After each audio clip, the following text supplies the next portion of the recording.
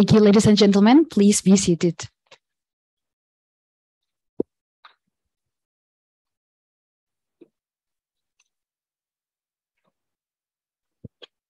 Ladies and gentlemen, now we are going to hear an opening remark, which will be delivered by the Honorable Dean of Faculty of Law Universitas Padjadjaran.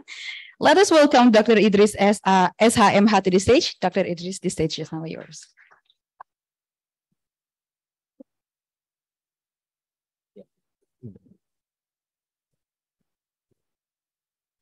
Bismillahirrahmanirrahim. Assalamualaikum warahmatullahi wabarakatuh. First of all, of course, all praises be to Allah, the Lord of our uh, word, Almighty, because we have lot of uh, blessing from Him, and also uh, the praying and greeting are always delivered to the great people, the great men, uh, Muhammad SAW, peace be upon him. Of course, this morning uh, academic activities is welcome because this is uh, uh, the best uh, lecture from any uh, prominent uh, short person, prominent speaker. And the secondly, of course, I would like to thank so much from prominent speaker, yeah. Dr. Gustav Dung, yeah, thanks so much because so many time we have come here to to share your uh, uh, your uh, insight and of course your uh, science.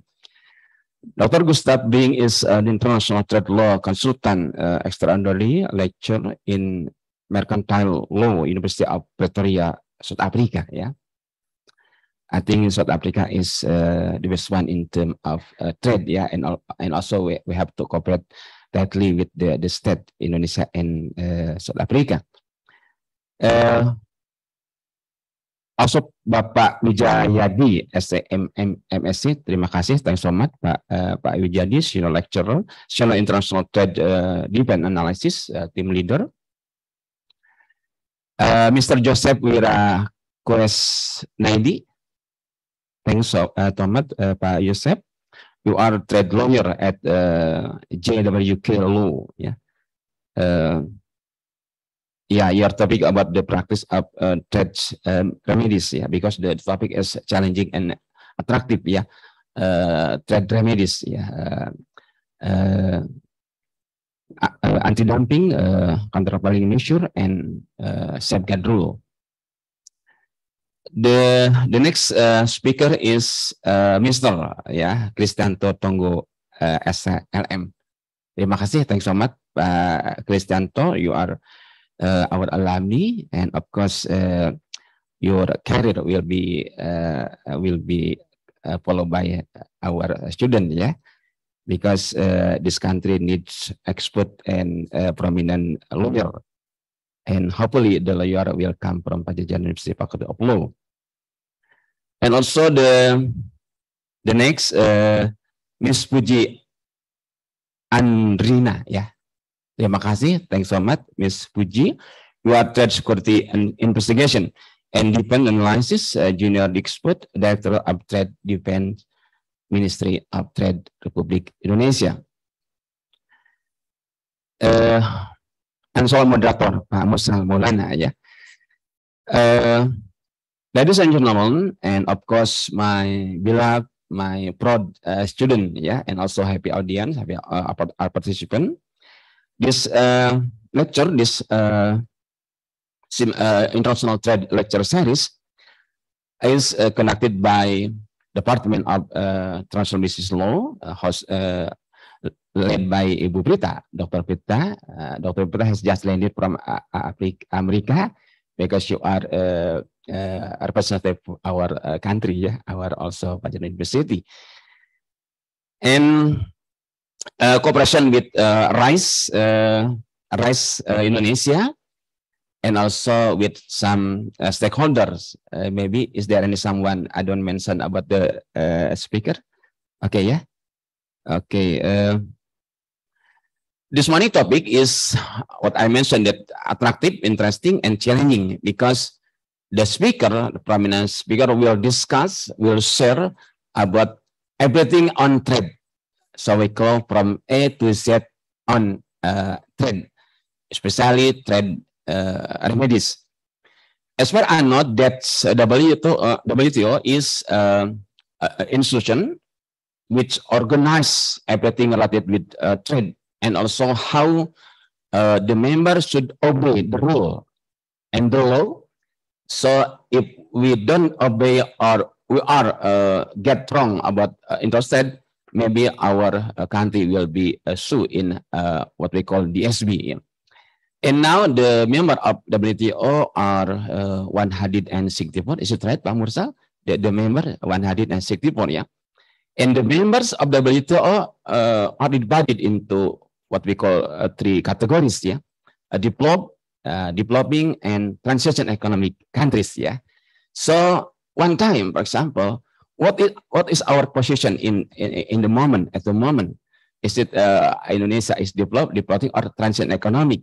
Because yesterday uh, I've been to Dili. Yeah, Dili is uh, capital of uh, Timor Leste, and uh, many years ago Timor Leste uh, was part of Indonesia, and until declaration uh, independent, almost 22 years, but not uh, not good uh, development yeah. Because the, the the the economy and trade should be uh, conducted seriously by a state official. Again uh, of course uh, i welcome this uh, international trade uh, lecture. And please uh, my student my beloved my brother student you can uh, ask more about the e pro e until z about uh, trade because WTO uh, allow the state to protect uh, domestic, yeah, good domestic uh, interest, national interest in term, uh, of course, uh, uh, reported rule. Like uh, I said, that can uh, we, we we protect our good our economy in term of dumping, anti-dumping, uh, safeguard, and everything. I think the topic, of course, should be uh, uh, discussed more by the uh, international speaker, like what I mentioned before. Okay. Uh, again, thanks so much to Bu Brita, Bu Helita, uh, Nad, uh, Nad, Nadita, ya, uh, and of course uh, uh, from uh, Speaker uh, uh, Ministry of Trade Republic Indonesia, and of course my student. You can pass on your study uh, by uh, making uh, the title from the perspective of this seminar. I think the topic, because what I mentioned, that's very interesting and the topic can be a part of your final assignment, skripsi. So please uh, you do uh, as soon as possible. Okay, therefore, uh, thanks to Kamite and of course thanks to all uh, lecturer, to all staff.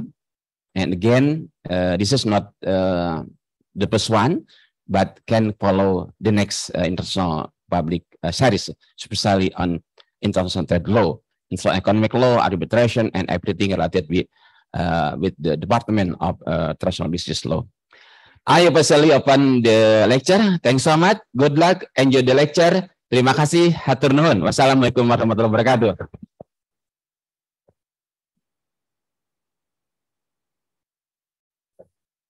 Thank you very much, Dr. Idris, for the kind words for our today's lecture. And the next one, I would like to invite the team leader of the Senior International Trade Defense Analyst. Please welcome Mr. Wijayadi SAMSA to the stage. Mr. Wijayadi, you are welcome to the stage. The stage is yours.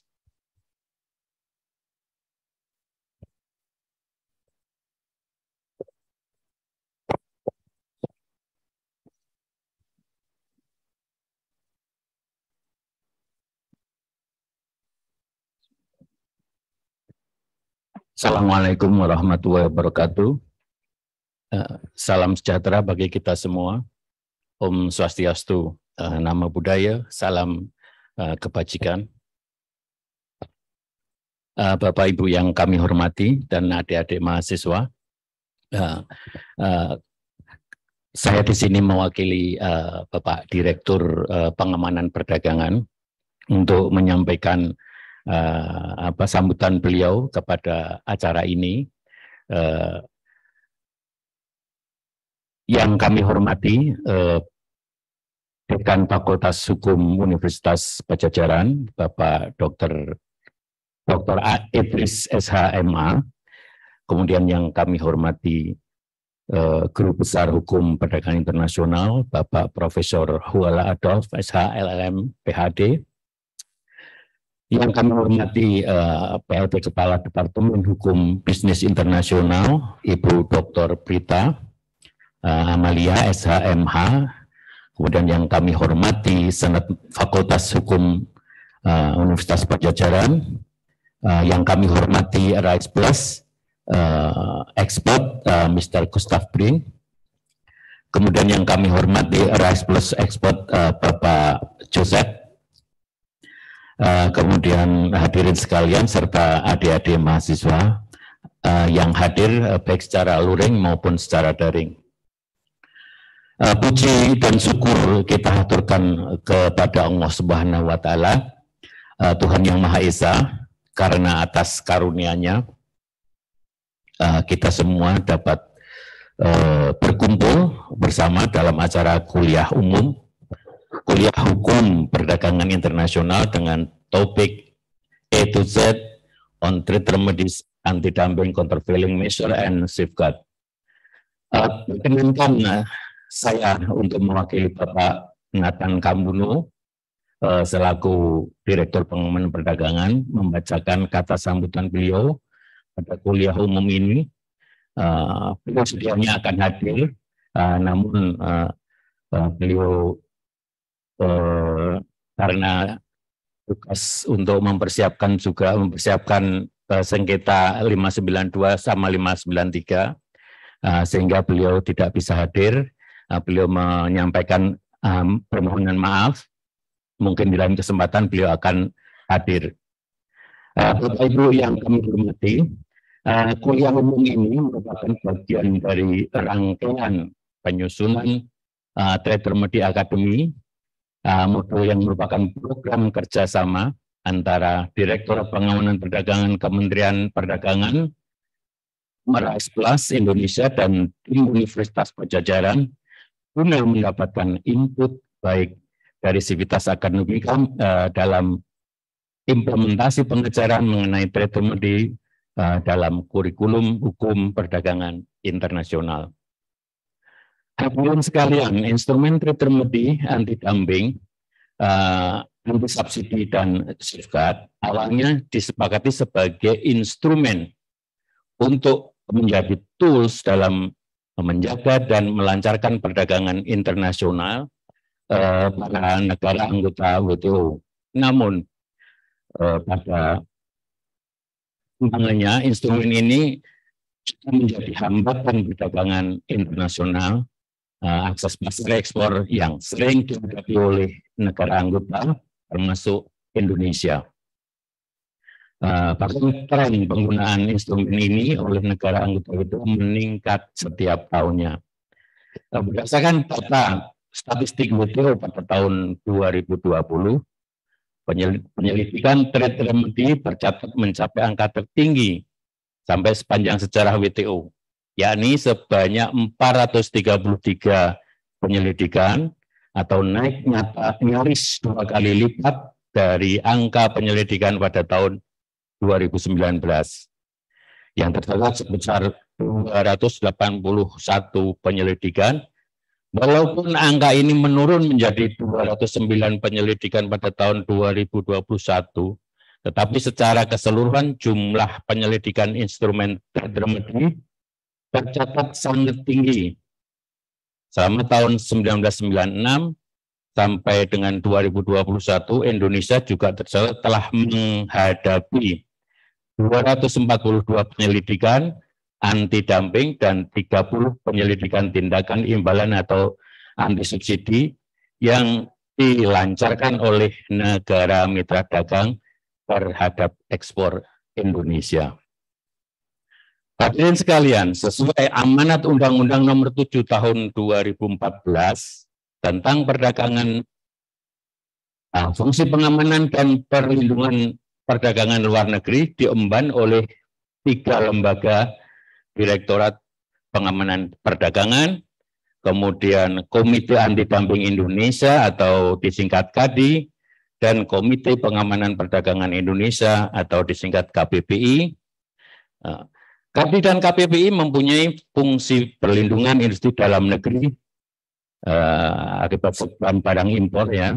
Kemudian uh, yang kami terutama ya, kemudian termasuk yang mendapat uh, subsidi, kemudian uh, uh, untuk DWP sendiri adalah me melakukan uh, bantuan uh, apa uh, defense untuk Indonesia yang dituduh uh, trade remedy.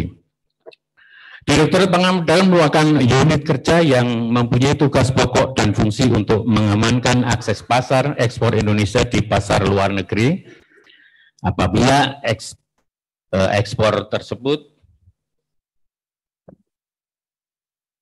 mengalami hambatan ekspor dalam bentuk tindakan anti dumping, kemudian tindakan dan uh, tindakan serta serta membantu uh, para eksportir uh, uh,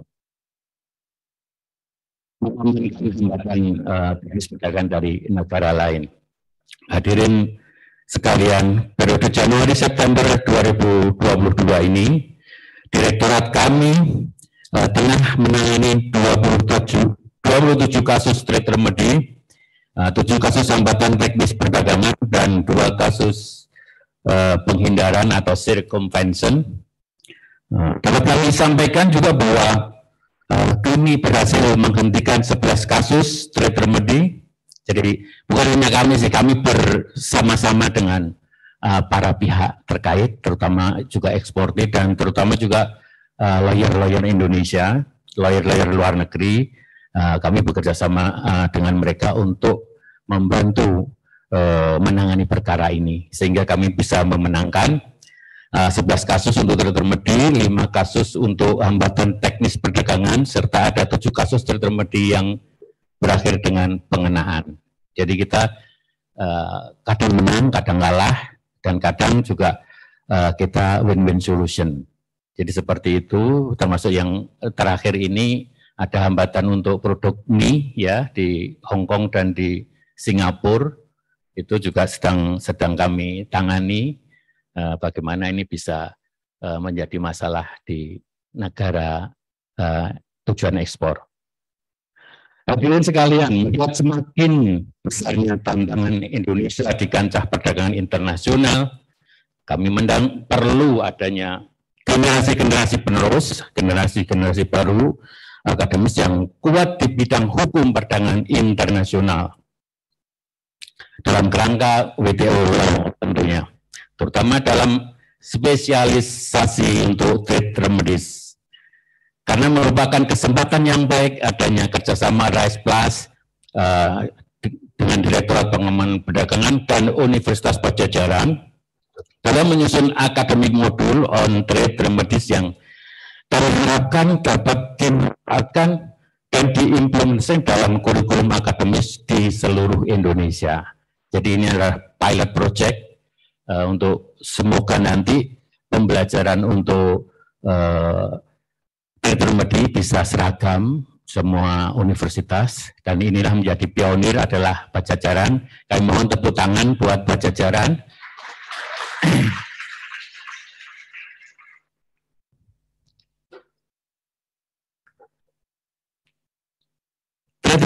Yang kami harapkan dapat dimanfaatkan dan diimplementasi dalam kurikulum akademis seluruh Indonesia. Harapan lainnya uh, agar kurikulum modul ini juga dimanfaatkan oleh kampus ekonomi dan bisnis. Jadi ini suatu tandem antara hukum dan uh, bisnis untuk memenangkan perkara. Jadi memang perkaranya perkara hukum, tetapi materinya adalah materi uh, bisnis, materi akuntansi. Jadi ini ada satu kolaborasi di dalam uh, memenangkan kasus untuk seperti itu.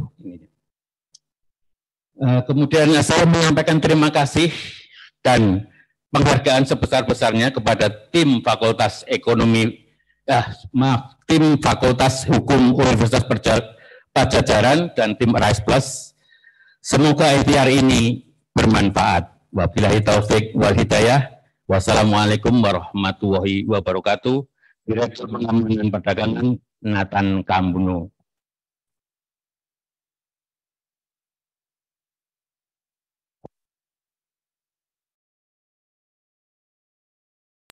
Thank you very much, Mr. Wijayadi SMSF for the kind words.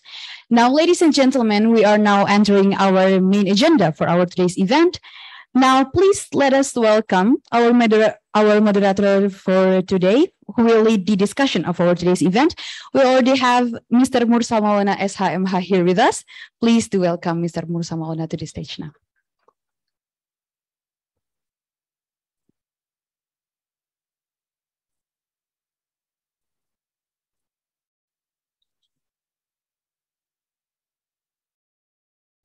Still doesn't work. Okay. Check. Okay. Uh, Assalamualaikum warahmatullahi wabarakatuh. Uh, good morning, everyone. Welcome to International Trade Law Lecture Series A to Z on international trade, uh, uh on trade remedies, anti-dumping, countervailing measures, and safeguards. And I would like to thank to Pawi Jayadi uh, as uh, you have uh, given uh, the welcoming speech for our student today, and also Ibu Prita as our head of department of transnational business law department, and also for all of the speakers today. I would like to welcome Gustav Brinks and also Pa, uh, uh, Joseph and also Kang Tonggo and Ibu Fuji. Okay, uh, before we start the presentation, I would like to invite uh, Gustav also to the uh, stage and Pa Tonggo and also uh, and Pa Joseph, please. Down is better. okay.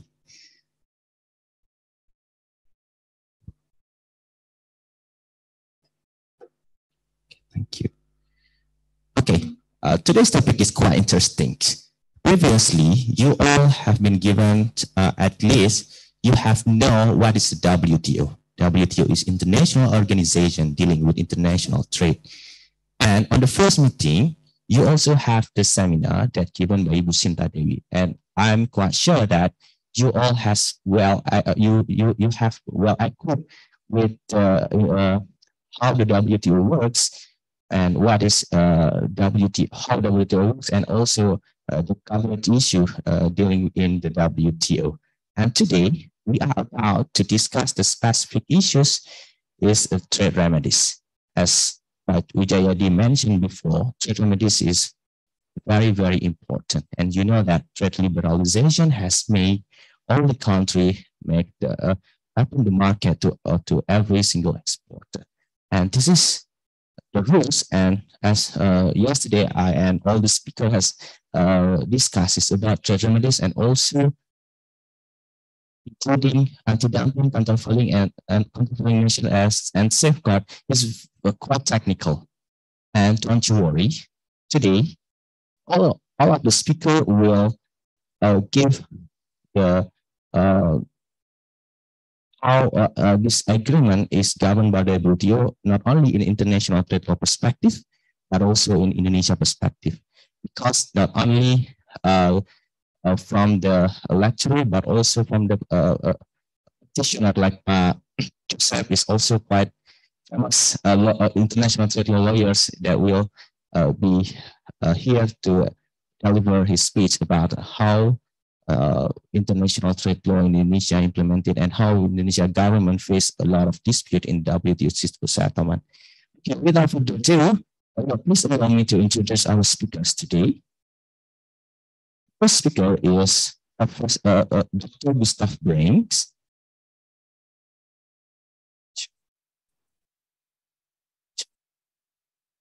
Okay, Gustav Brinks holds uh, a BCom and LLB and LLD in International Trade Law from University of Pretoria, South Africa.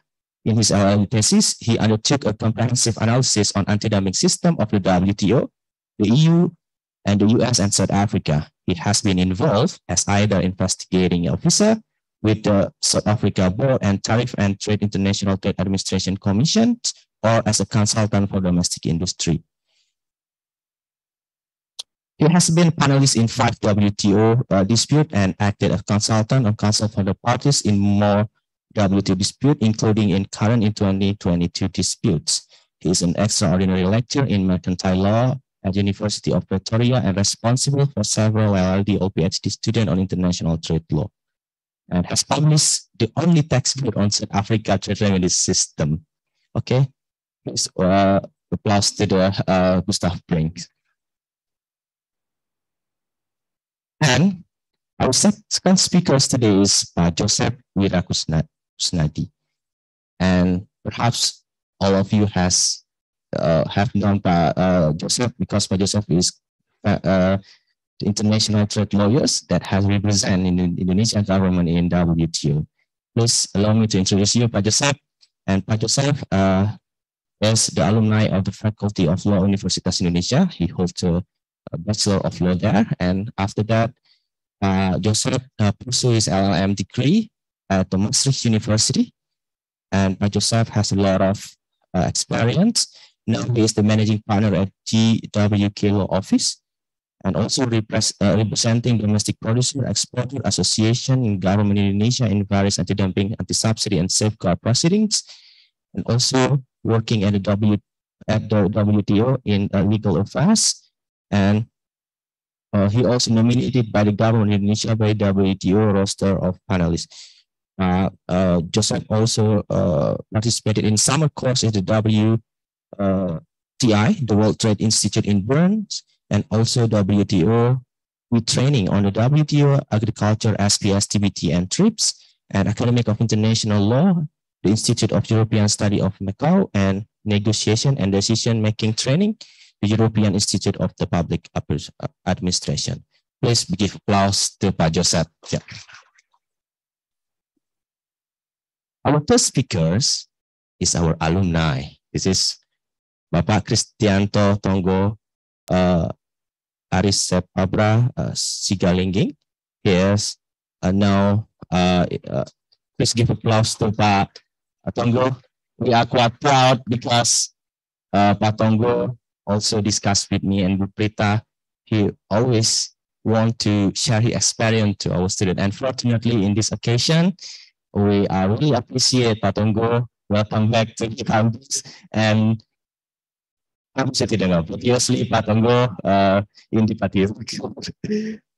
Let me introduce Pak Tonggo. Now, Pak Tonggo is international trade negotiator on trade remedies in Indonesia in EU CEPA negotiations. And also, Pak Tonggo is international trade analyst uh, since uh, 2014 and until now, an international trade analyst, uh, Ministry of Trade of Republic Indonesia. Okay, thank you, Pak Tonggo, for your uh, time. And also we do really hope that you will give inspiration for our student. Um, this is a lot of opportunities in international trade law and the last speaker is Ibu Fuji Anrina S-A-M-I-L-E. Ibu Fuji is uh, analyst uh, investigation on international trade minister he is the alumni of Universitas of Indonesia and also uh, received Master of International Law on Economic at the World Trade Institute.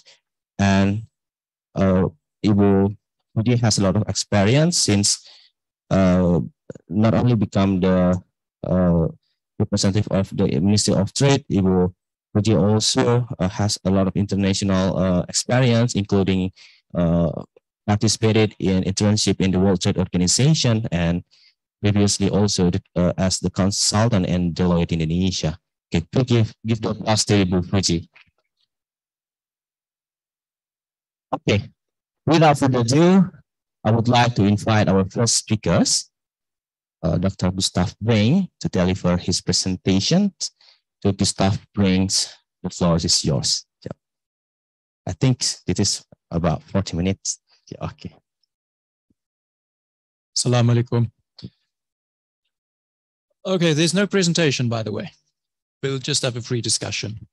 First, let me just say that um, we part and getting to the latter part of a four-year project, which is sponsored by the European Union, ARISE Plus. Um, part of that and the part that I'm working on and, and that my colleagues are working on is on trade facilitation and on trade remedies. So we've, over the past couple of years, done quite a few things. We've been here 2019, then of course, unfortunately, COVID, so couldn't come here, but still doing a lot of work from elsewhere. Having said that, having got the formalities out of the way, except thanking you myself for, for assisting us today, for being our moderator, let's have a look at what trade remedies are. Are they important? Why are we here? Why are all of you here? If it wasn't for trade remedies, you would have paid a lot more for everything. Why? Because you're a WTO member, you reduced your tariffs. You agreed with all other countries in the world to have certain maximum or what we call bound rates on um, each and every one of your products. And you would have listed probably about 10 or 12,000 different products, technically negotiating on each and every one of them. You agreed to relatively low tariffs on condition that if there were any problems, you could resort to trade remedies. So that then you could use anti-dumping, that you could use countervailing, or you could use safeguards. Without those, your duties would have been much higher. You would have paid more for imported goods. And if you pay more for imported goods, you also pay more for local goods because then people can just push up their prices to import parity. So to a certain extent, if it wasn't for trade remedies, you would have all been a lot worse off. Now, this is what the lawyers say. What do the economists say? The economists say trade remedies are bad for you. It decreases your GDP. But the thing is, they don't look at the impact of lowering the tariffs in the first place. So what we're going to look at today very quickly is what the different trade remedies are, how you can use them, why they're important. And I think then what is probably going to be more interesting to you is what can you do with trade remedies? Yes, you can finish your studies. And so what? What after? So we'll have a look at that. Of the three trade remedies, anti-dumping is by far the most used. Since 1995, when the WTO was established, we've had just over six and a half thousand investigations in the world. And those translated into about four and a half thousand anti-dumping duties being imposed. If we look at countervailing or anti-subsidy, as some countries call it, we only have about 400 investigations, of which about 250 resulted in measures. And then, and it's different, and I'll discuss that later when we get to that, safeguards, we've had only about 280 cases thus far, of which around 190 resulted in measures, but it's counted differently. If I have an investigation on a specific product from five different countries in anti-dumping countervailing, that's counted as five investigations. So if you open an investigation against China, Vietnam, and India, that will be counted as three.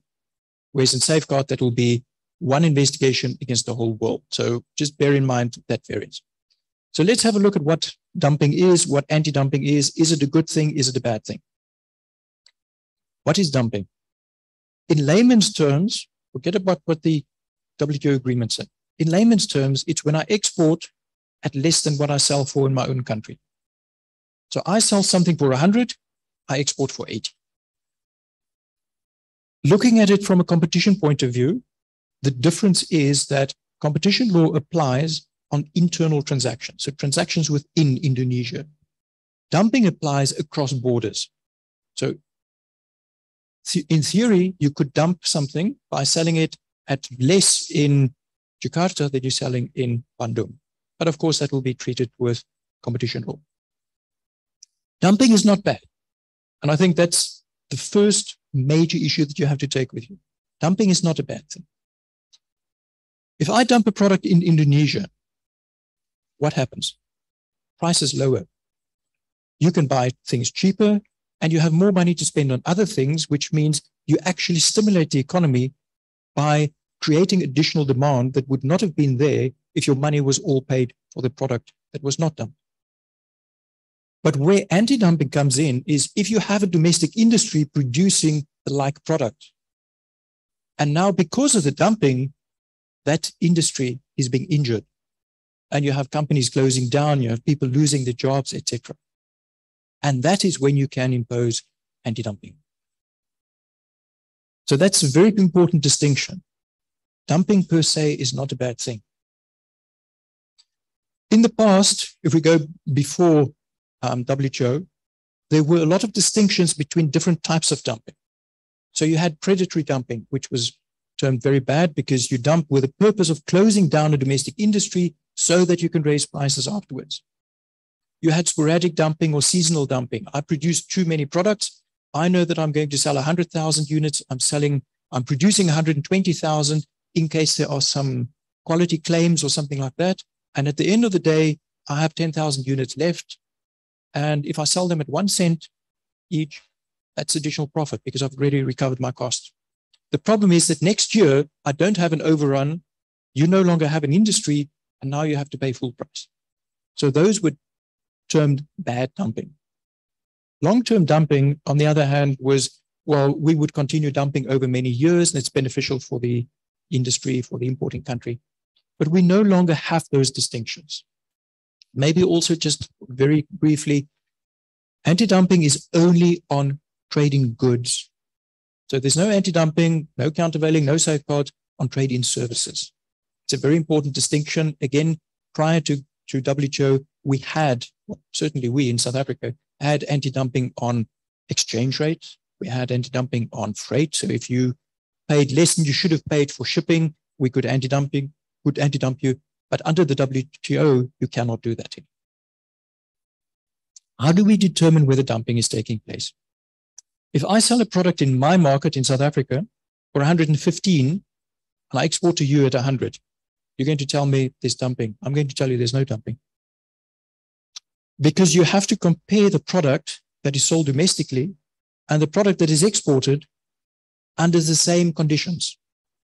And we have a 15% value added tax on domestic sales, but there's zero tax when I export. So that's the difference. That's not dumping because the company actually gets 100 in both instances. If I tell you that I will give you 1 billion rupiah, but you have a choice. Do you want the money today or do you want the money in a year's time? What are you going to tell me? Who wants it today? Nobody. Oh, they don't want money. They're all rich. You're all going to tell me you want the money today. Why? Because you can buy a lot more with that money today than you will be able to buy with the same money in a year's time because of inflation. Or if you don't want to buy anything, you can go and put it in the bank, and in a year's time, you would have earned some interest on that.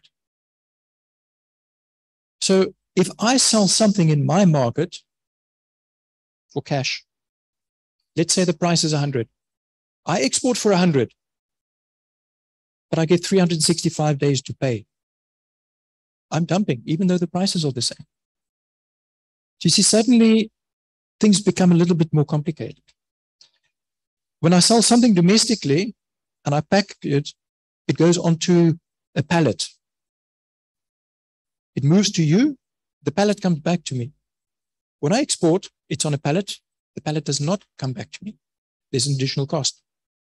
So suddenly what you find is you lawyers, but we start dealing with calculations.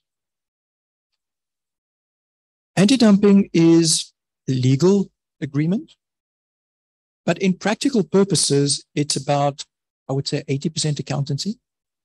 So if you don't like figures, you'd have to join up with an accountant or with an economist because you have to understand these issues when you make your presentations or you get an accountant or an economist that will do the calculations for you and you then interpret that to make your legal submissions.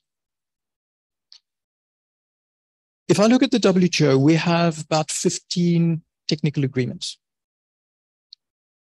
Other than GATT itself, the agreement that has been disputed the most is anti-dumping.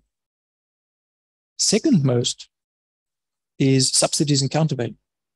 And fourth is safeguards.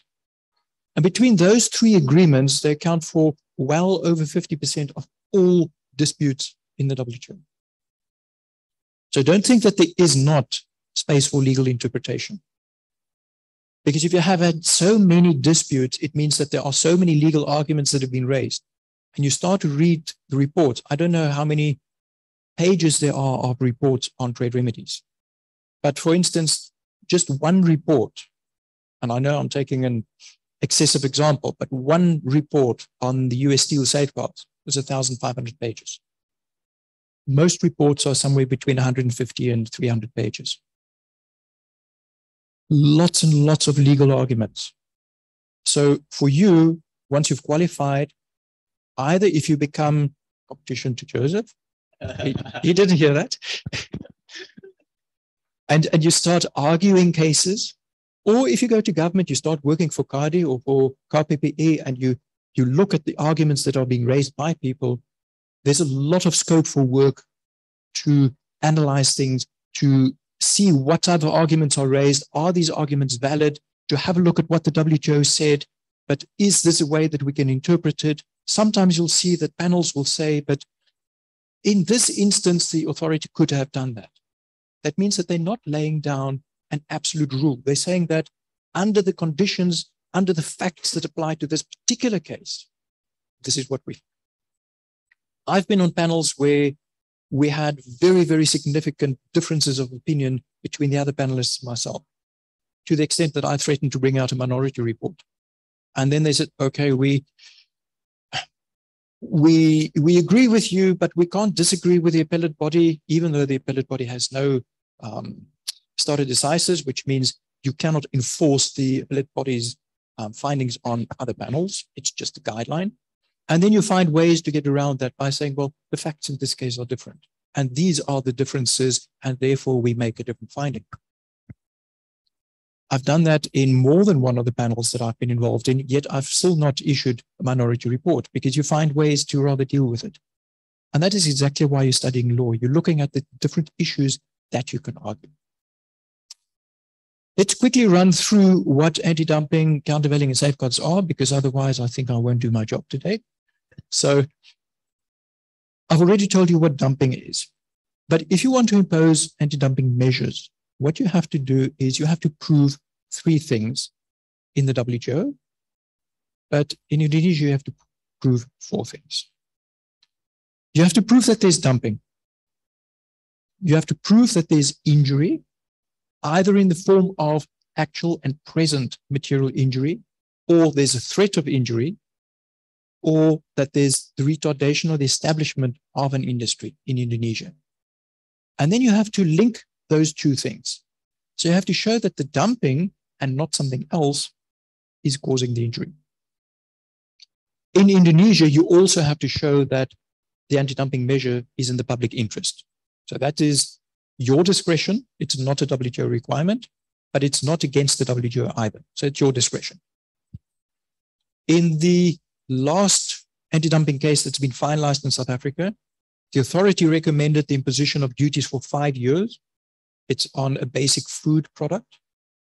Following COVID, following um, very significant unemployment in the country, etc., the minister decided to suspend the imposition of the duty for one year. So it will be there for five years, but in the first year, there will be zero duties. That's public interest, even though technically we don't have that as a requirement. The big issue is how do you determine these things? Now, if you're going to read a typical textbook, it's going to show you that you have three domestic transactions, one at nine, one at 10, and one at 11. So the average price is 10. That's your normal value. On the export side, they're going to show you three transactions, and one was made at eight, and one at nine, and one at 10, and the average is nine. So the margin of, of dumping is 10 minus nine is one. You divide it by the export price, and you get 11.1%. But that is only in theory. Because in practice, if you have had very few import transactions, you might have had 100 or 200 or 500. Sometimes you have a couple of thousand transactions. I've had investigations where on the domestic side, so normal value side, we've had more than a million transactions. Let's take a product that all of you know. Car tires. Are all tires the same? No.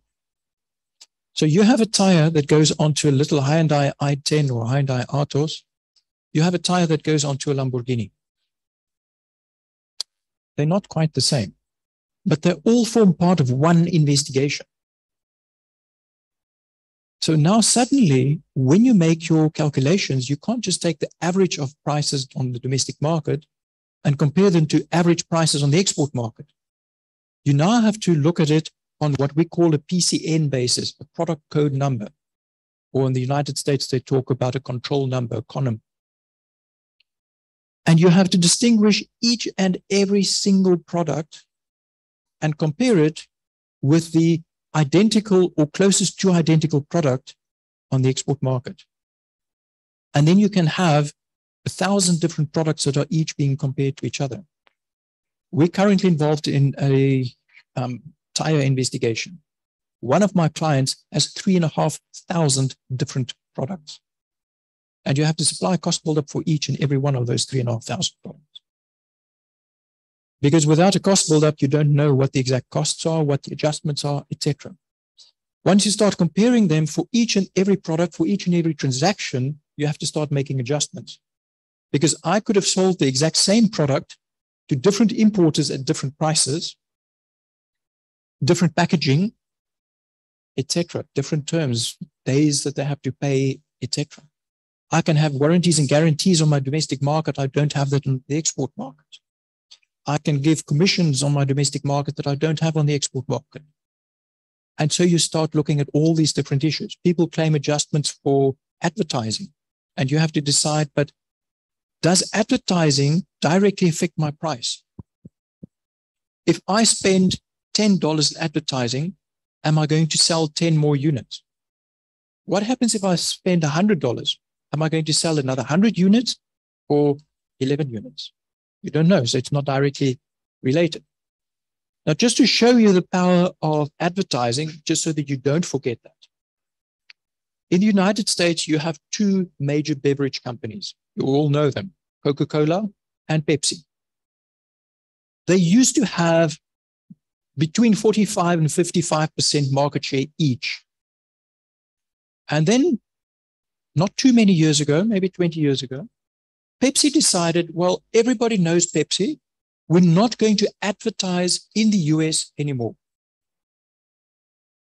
And we're going to save millions of dollars. What happened? They lost millions of sales. And Coca Cola suddenly had a 70% market share, and Pepsi was about 25, and they never recovered.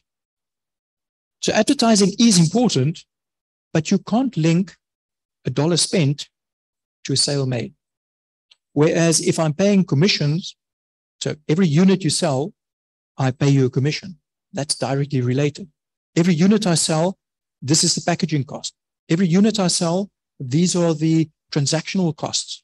Those are adjustments that you do make. You see, it becomes a little bit more complicated, which is exactly why people like me and Joseph love the area because it gives us a lot of work. And it's interesting. Every single case is different even if you work with the same product a couple of times. I've been involved now, this is my third tire investigation. Each of them is different. Every client is different. I've worked with poultry investigations, chickens on the first investigation we had was 1999 against the United States. And we even got letters signed by President Clinton complaining about how we did the investigation, but they never challenged us. Then we had another investigation against three countries. Then we had a case against Brazil, which they took us to the WTO. Then we had another case against three other countries. We just finished another case against five countries. In between, we've got reviews of the duties. But each time you do it, it's different products, it's different exporters, it's different information. So it, it just keeps on going and it's, it's interesting every single time. It's not like my my mother used to be a lecturer at a university in my language.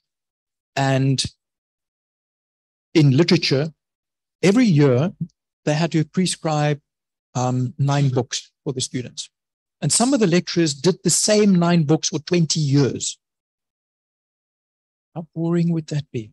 Can you think if you do the same thing every single day you'll never get 20 years experience you'll get one year's experience 20 times over. And that's not what you want. When we come to trade remedies, it's a very dynamic area. everything changes. There are new interpretations by the WTO. You have to look at that, read that. Oh, this is something the other party doesn't know. I start arguing that. Let's quickly move on to, now, let's finish something on anti-dumping first. Anti-dumping is very specifically aimed against companies. So you can have an investigation, for instance, against China, and you can find that one company is not dumping, and there are no duties against that company. Another company is dumping at 3%. It gets a duty of 3%. Another company is dumping at 20%. There's a 20% duty. Another company decided, oh, we're not going to cooperate. So what do you do? Oh, you give them 50% or 100%. You just have to be able to justify it, but they'll get a higher duty. When we get to countervailing, we're not saying that there's unfair trade by a company. We're saying that there's unfair trade by a government. So we say that the government of China, the government of India, or whichever country is unfairly placing its exporters at an advantage vis-a-vis producers in Indonesia. So for instance, if the government of China provides subsidies that reduces costs in China, they're going to be able to export at 80, but you're not going to be able to find dumping because the domestic price now is also 80. The problem is that you still have 100 costs. So you cannot compete against the 80. So now you have an investigation against them to prove how much subsidy is provided by government. And there are lots of rules as to how subsidies are defined, how you have to make your calculations, etc. And quite frankly, we don't have the time for that today. I mean, that alone would take several hours. But in the end, anti-dumping countervailing works essentially the same your injury determination, except for one small little thing, is identical. Your investigation processes, except for two small things, are identical. It's just that you determine subsidies versus dumping. The problem with a subsidy is that it can have an impact outside of just your own market. So China subsidizes a product by 20% you can impose a countervailing duty on products from China into Indonesia. But what happens with your exports to the United States, where China now also exports at 80? You can challenge them in the WTO. So there's a multilateral route where you can challenge their subsidies to other countries. So that's, again, something else that you have to consider looking at the fact, do we bring a countervailing application? Do we look at multilateral track? Do we bring anti-dumping and countervailing at the same time? Because you can do that. How do you how do you deal with it if you have dumping from five countries but subsidies only from one country? All of these are questions that you would need to answer after you've evaluated them, looked at what the best scenarios are.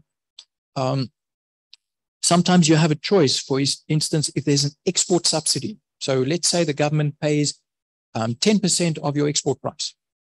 So now that lowers your export price, now you can find either dumping or subsidies. Am I going to impose an anti-dumping duty or am I going to impose a countervailing duty? It's your choice. But it's easier to do an anti-dumping duty because it's not political. It's easier to renew after a review the anti-dumping duty for another five years than a subsidy because subsidies change over time. Anti-dumping and countervailing are regarded as unfair trade. Now, you won't find those words in the agreements, but you will actually find that the appellate body of the WTO has used those words. Safeguards, on the other hand, are used against fair trade. So essentially what I'm saying is I cannot compete against these imports. I need an opportunity to adjust so that once the safeguard measure lapses, my industry will again be able to compete against fair international trade.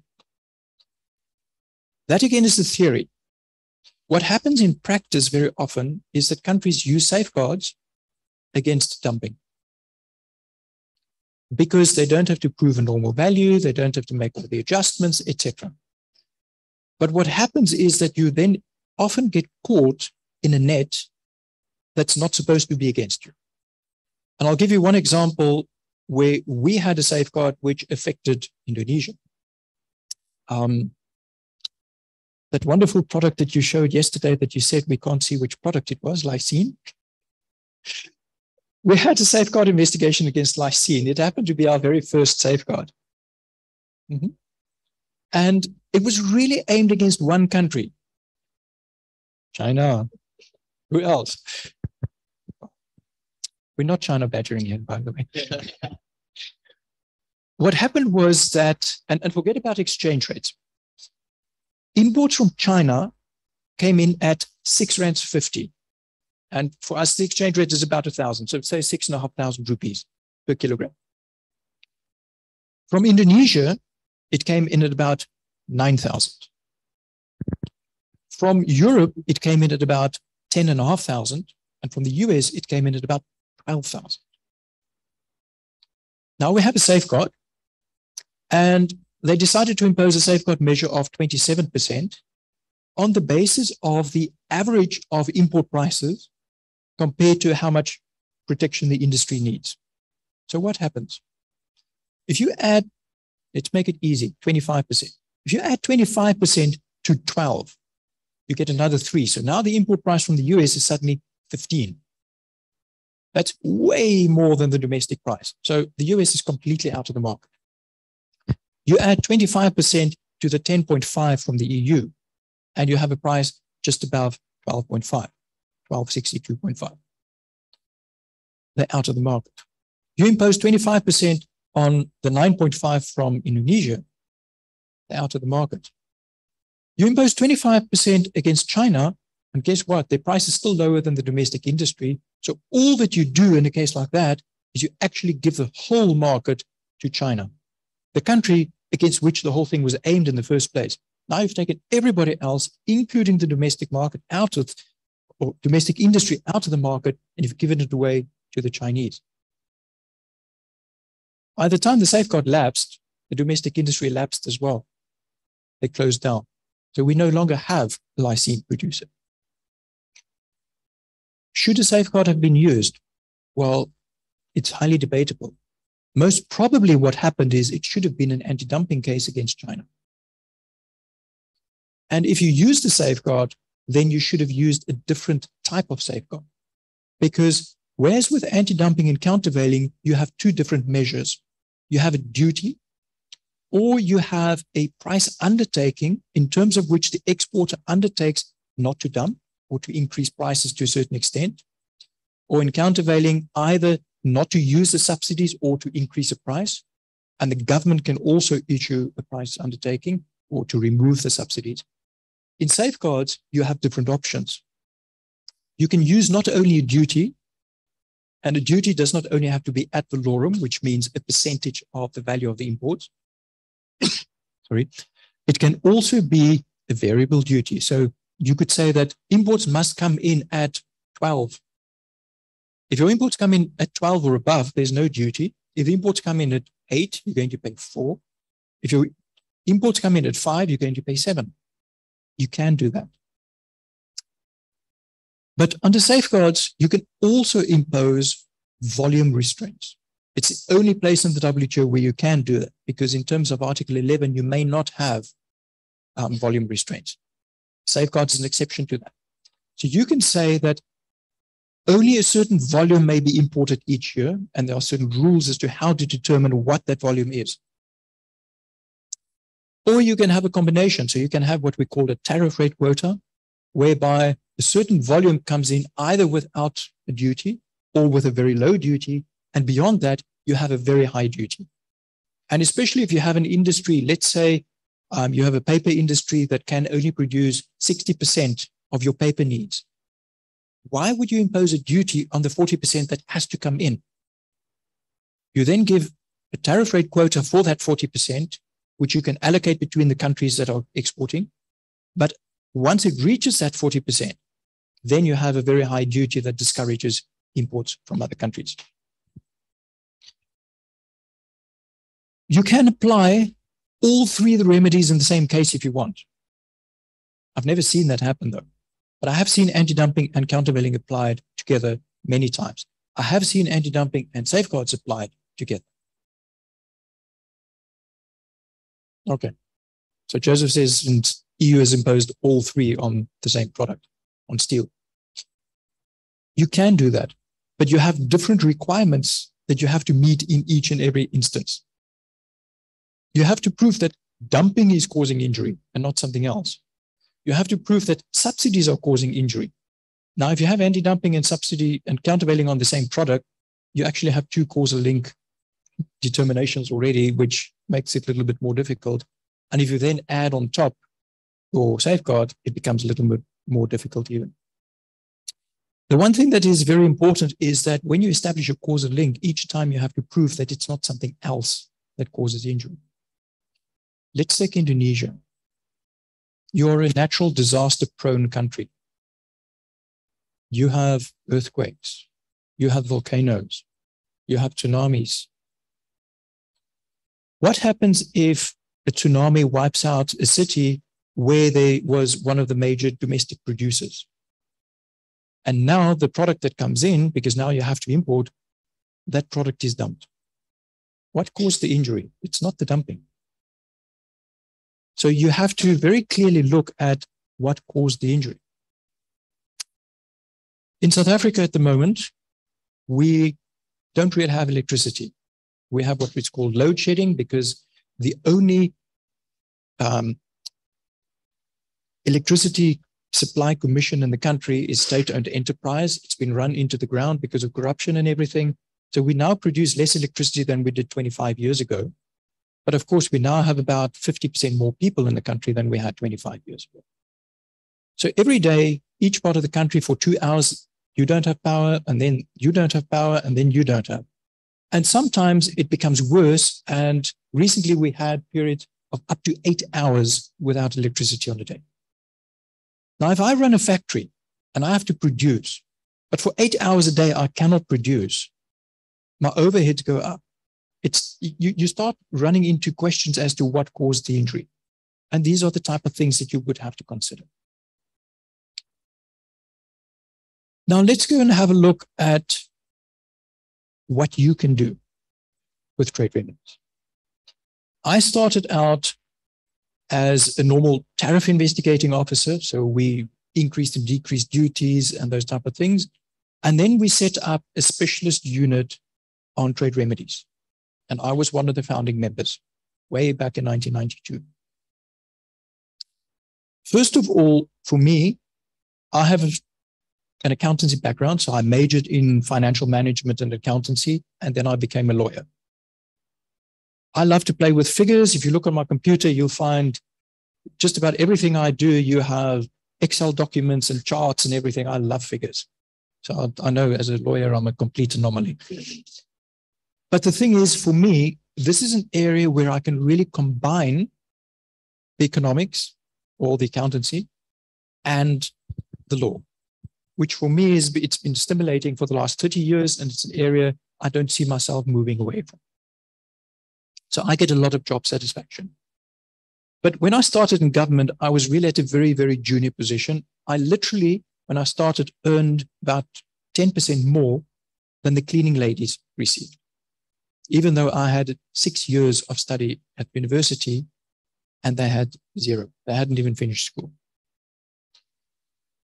But then we started to do verifications because in each of these three instruments, you have to make sure that the information that you have is accurate. So you go on physical on-site verifications. So at first, we obviously we verified the domestic industry. So in, in your case, you now start traveling to other cities in Indonesia. In my case, we started traveling to Cape Town, which is one of the most beautiful cities in the world. And you go to Durban and you go to sometimes small little villages that otherwise you would never even get the opportunity to visit. And then you start going overseas. So the first time I went overseas for work, I went to Australia. And the one company that we verified was in a place that very few people actually get to, which is in Tasmania. So most people just get to, shall we call it continental Australia. We got to Tasmania. And then we had another verification in Sydney. And then we went to Perth. And you get nice per as well. And you save that and you suddenly have a bit of money as well. But you actually saw things such as the Sydney Harbour Bridge and the Opera House and things like that, which if I had to pay for myself, I probably would never have got there. And then you do a verification in Japan, and then you do verification in France, and then from France you move to Portugal, etc. So as an investigating officer, I did verifications in 16 different countries. And in some of the, those countries, I went back two or three or four times and in different cities. I had one verification visit where the fact that my colleague and I didn't kill each other means that still today we're best friends. We traveled from South Africa to the United States. We did a week and a half of verifications there. Then we traveled to Belgium. We had a week and a half of verifications there. Then we went to Switzerland. Then we went to the UK. Then we went to Saudi Arabia. And then we went to the Arab Emirates, to Dubai. Seven weeks on the road. Not always that nice, but I can guarantee you incredibly diverse. You get to see different cultures. You get to experience different food. You see things that you would never be able to see. And then I became a consultant. So now I work for exporting companies, etc. The last couple of years, more for governments. But I mean, in, in the last year, I've worked on three different investigations, three completely different products on literally three different continents. And you really get such an experience. They say that life is like a book. If you don't travel, you've read only one page. So, trade remedies and international trade in general gives you that opportunity to read a whole chapter, to read two chapters. If you're lucky, maybe you can even read the whole book. And of course, now there's the big question can you actually make money out of this? Maybe I should ask Joseph because, because he can tell you what's happening in Indonesia. And obviously, in Indonesia, you won't make as much money as you would make in, let's take the ultimate, the United States. In the United States, to defend a case, so if you're an exporter and you're accused of dumping, and you know how to defend your case. A small case is going to cost you $1 million. Now, obviously, that's not, that doesn't all go to Joseph. Um, some of it has to go to the accountant, some of it has to go to the economist, but the lawyers there make incredibly good money. We cannot charge, well, literally about 10% of what they charge in the US if I could charge $100,000 for a client, I would be very, very, very happy.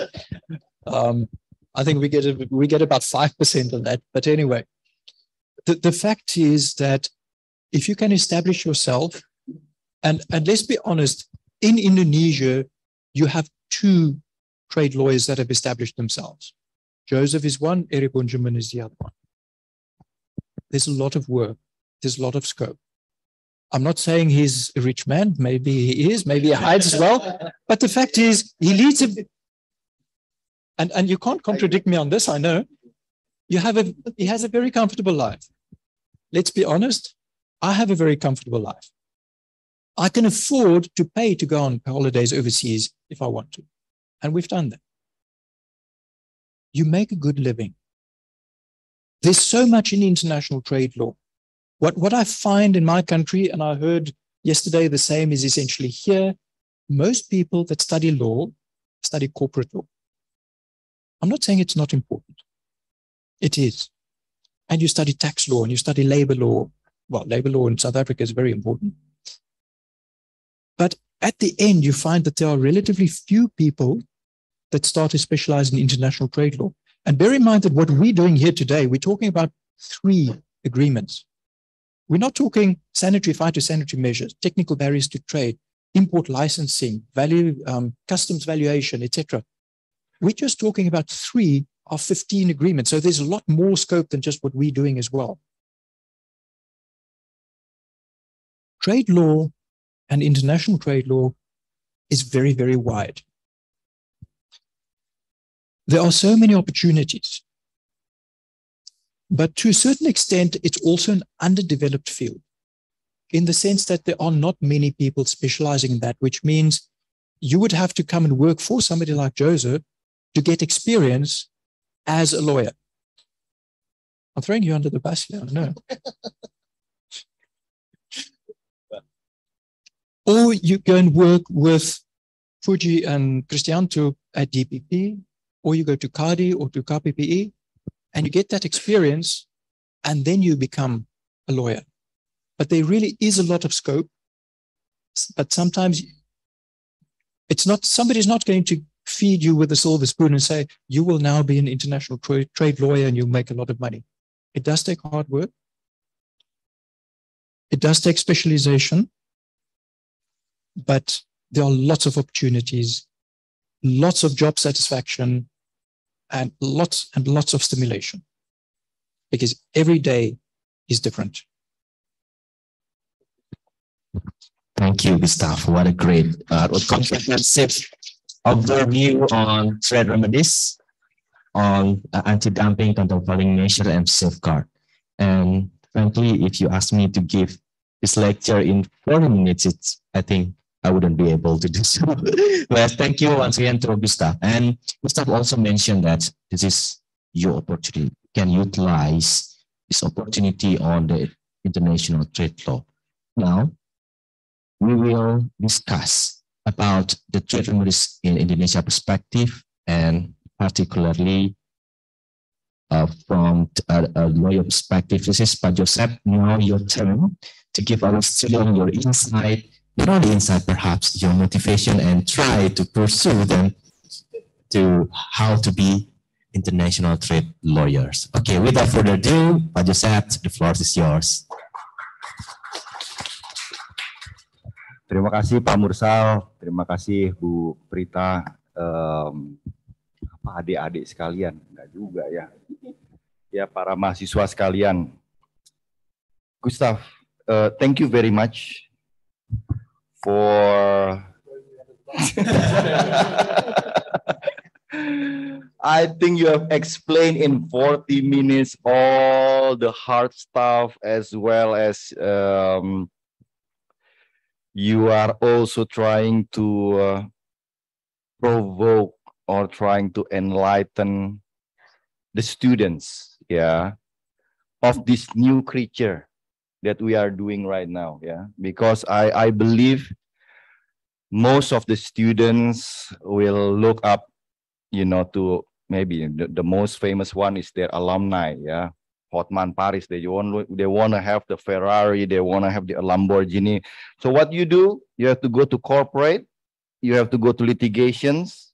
But I don't think they ever imagine being a trade remedies lawyer. So uh, thank you, Gustav. Yeah. So right now, maybe I will only take 10 minutes, maybe less. Yeah. But because I, I really hope to get questions from you ya my my objective ya titah dari Pak Wijaya di sama Bu Prita right now is at least to have one two or three of you ya not to become master but you you have the interest so you will seek more so when you got this eight module from UNPAD consisting of 300 or almost 400 pages, yeah, you will have a lot of interest in really studying it because you have a goal. Oh,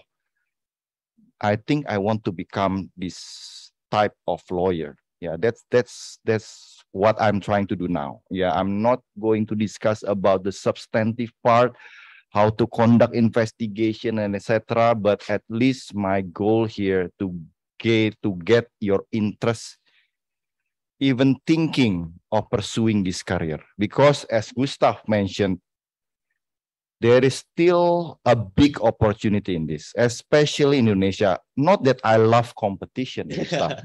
Don't get me wrong, right?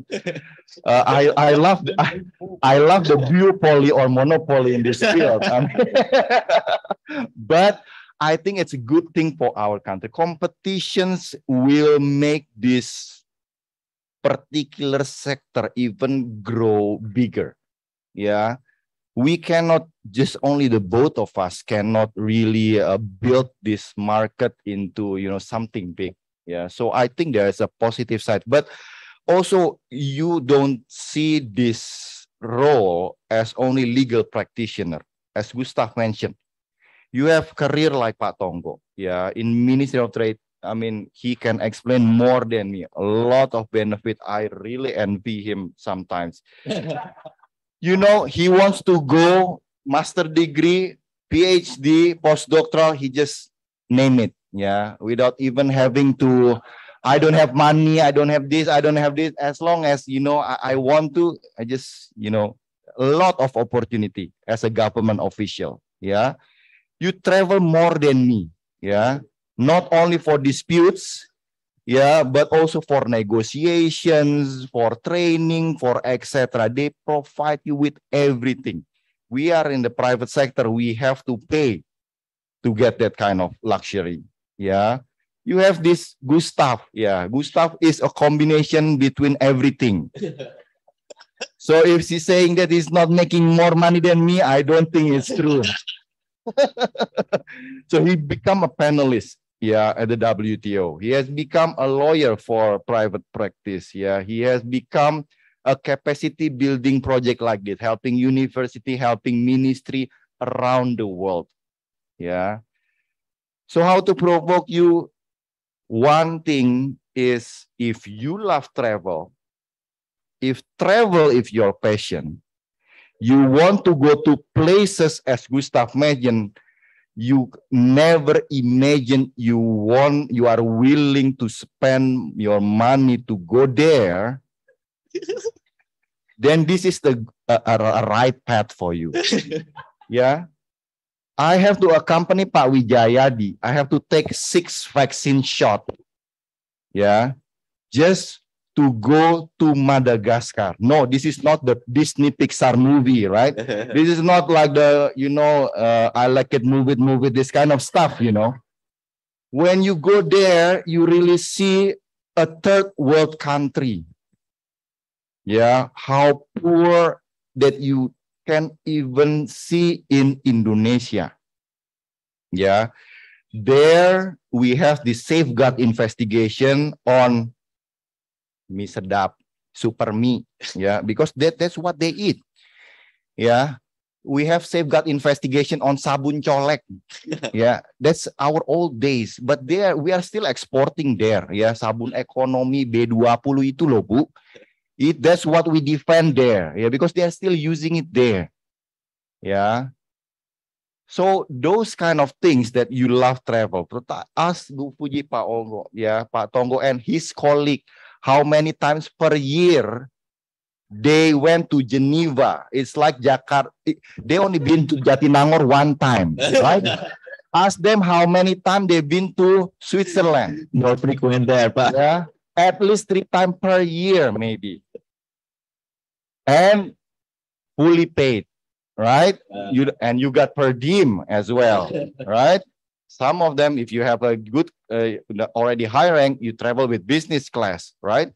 So if you love travel, yeah, this is the things that I think like corporate, you only, you know, in cubicle, you, you will go, you will go do diligence to, to go to court, you know, all of this stuff. But here, very, very big opportunity to travel to places that you can never imagine. Yeah, that's one thing.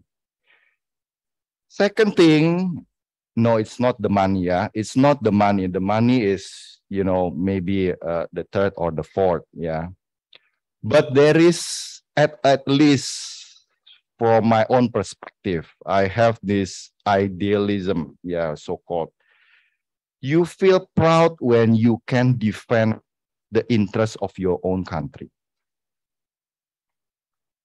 Yeah.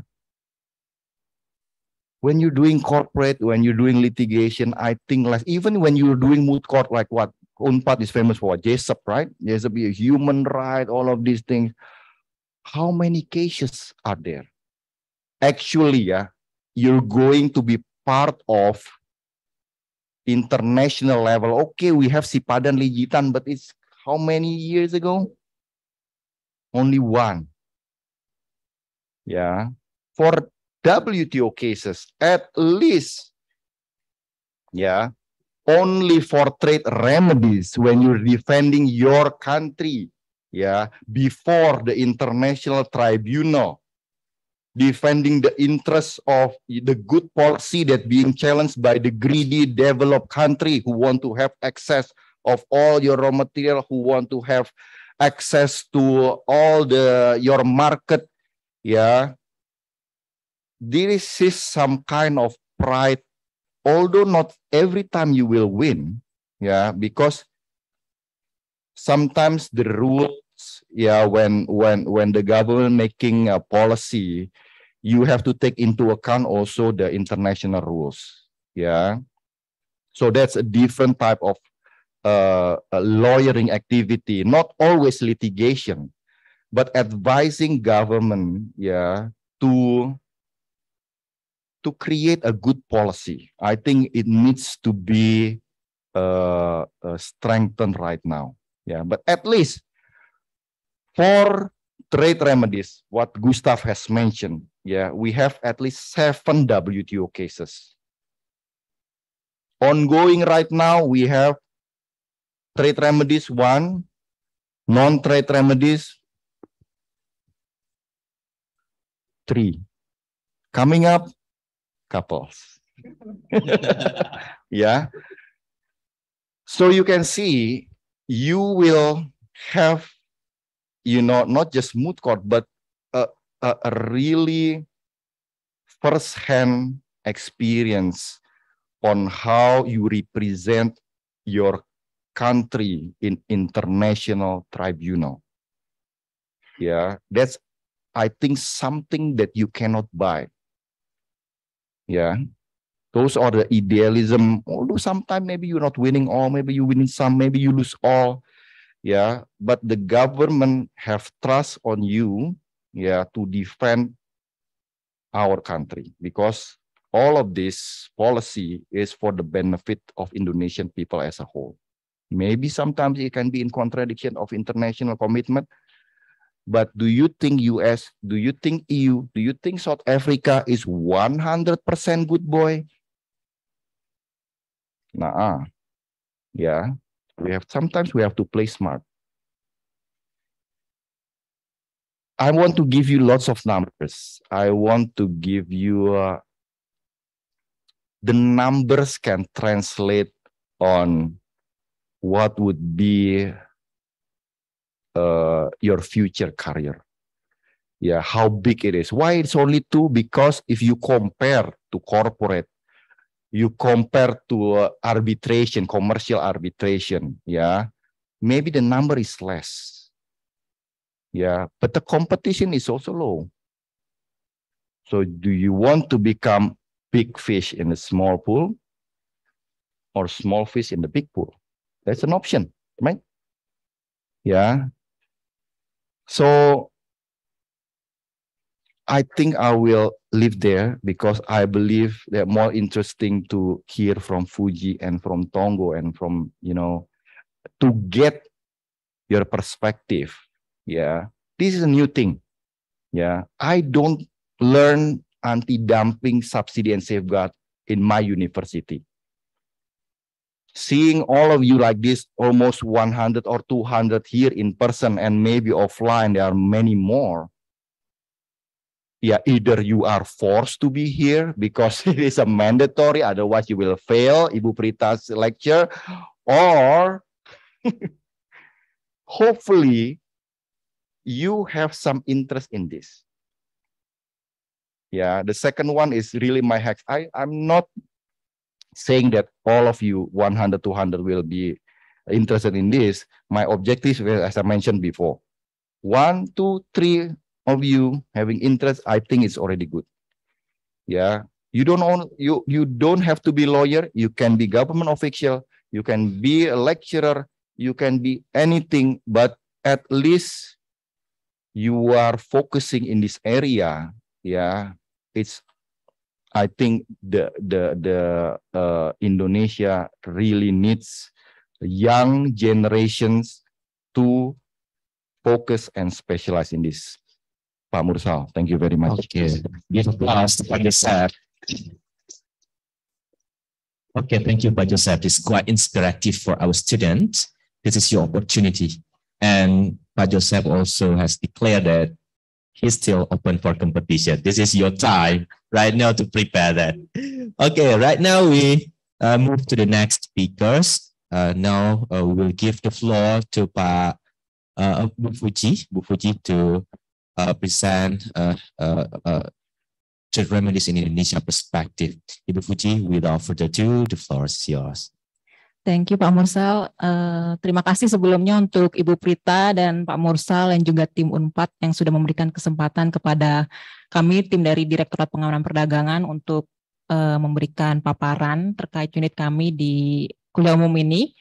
Uh, semoga nanti teman-teman lebih banyak lagi yang tertarik ya untuk mendalami eh, isu-isu uh, terkait perdagangan internasional. Tapi sebelum saya mulai, saya mau coba tes ombak dulu nih. Ya. Siapa di sini tolong tunjuk tangannya ya, yang bercita-cita pengen jadi lawyer. Ayo, siapa? Aku pengen pengen tahu aja dulu. Lawyer?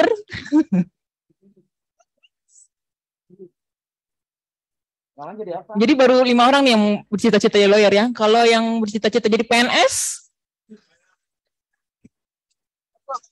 Banyak kan jadi PNS ya. Bagus, bagus, bagus. Yang jadi PNS dapat door prize nanti. Iya, jadi PNS dapat door prize. Kalau yang udah punya cita-cita pengen uh, ngambil jurusan perdagangan internasional, udah ada belum? Belum ya? Ayo dong, belum, belum tertarik nih setelah paparan dari Gustaf dan juga Pak Joseph mengambil Belum nih. Semoga nanti setelah paparan dari saya dan Pak Tonggo lebih banyak lagi ya yang tertarik mau ngambil perdagangan internasional. Banyak yang datang ke Bu Prita ya daftar uh, ngambil kursus eh ngambil pelajaran trade remedies. Oke. okay. Jadi, uh, so uh, today uh, I and Pak Tonggo, Pak Kristianto Tonggo will explain you about the duty of the government of Indonesia in trade remedies investigation. So we are uh, now working on the Directorate of Trade Defense under the Directorate General of uh, foreign trade. Next slide, please.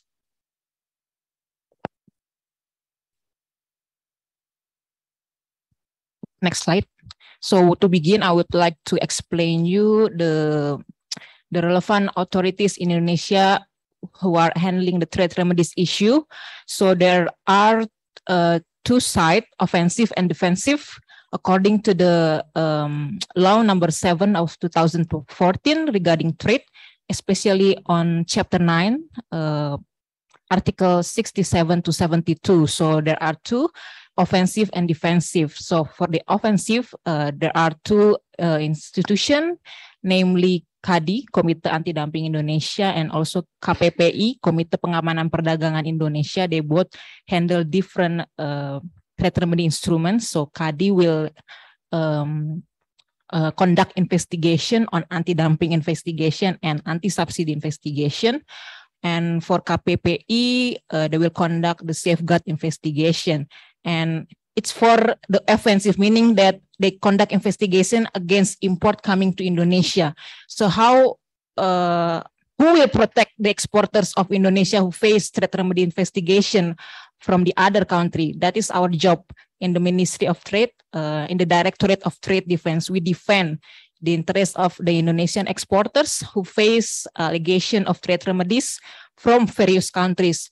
In addition to trade remedies, we also um, becoming the garda terdepan of Indonesian exporter who face other kind of barriers such as TBT, SPS, like maybe you know the case of uh, Mie Sedaap that has been um, ditarik ya dari from from the Singapore market uh, because of the some chemical uh, ingredients uh, in the in the noodles.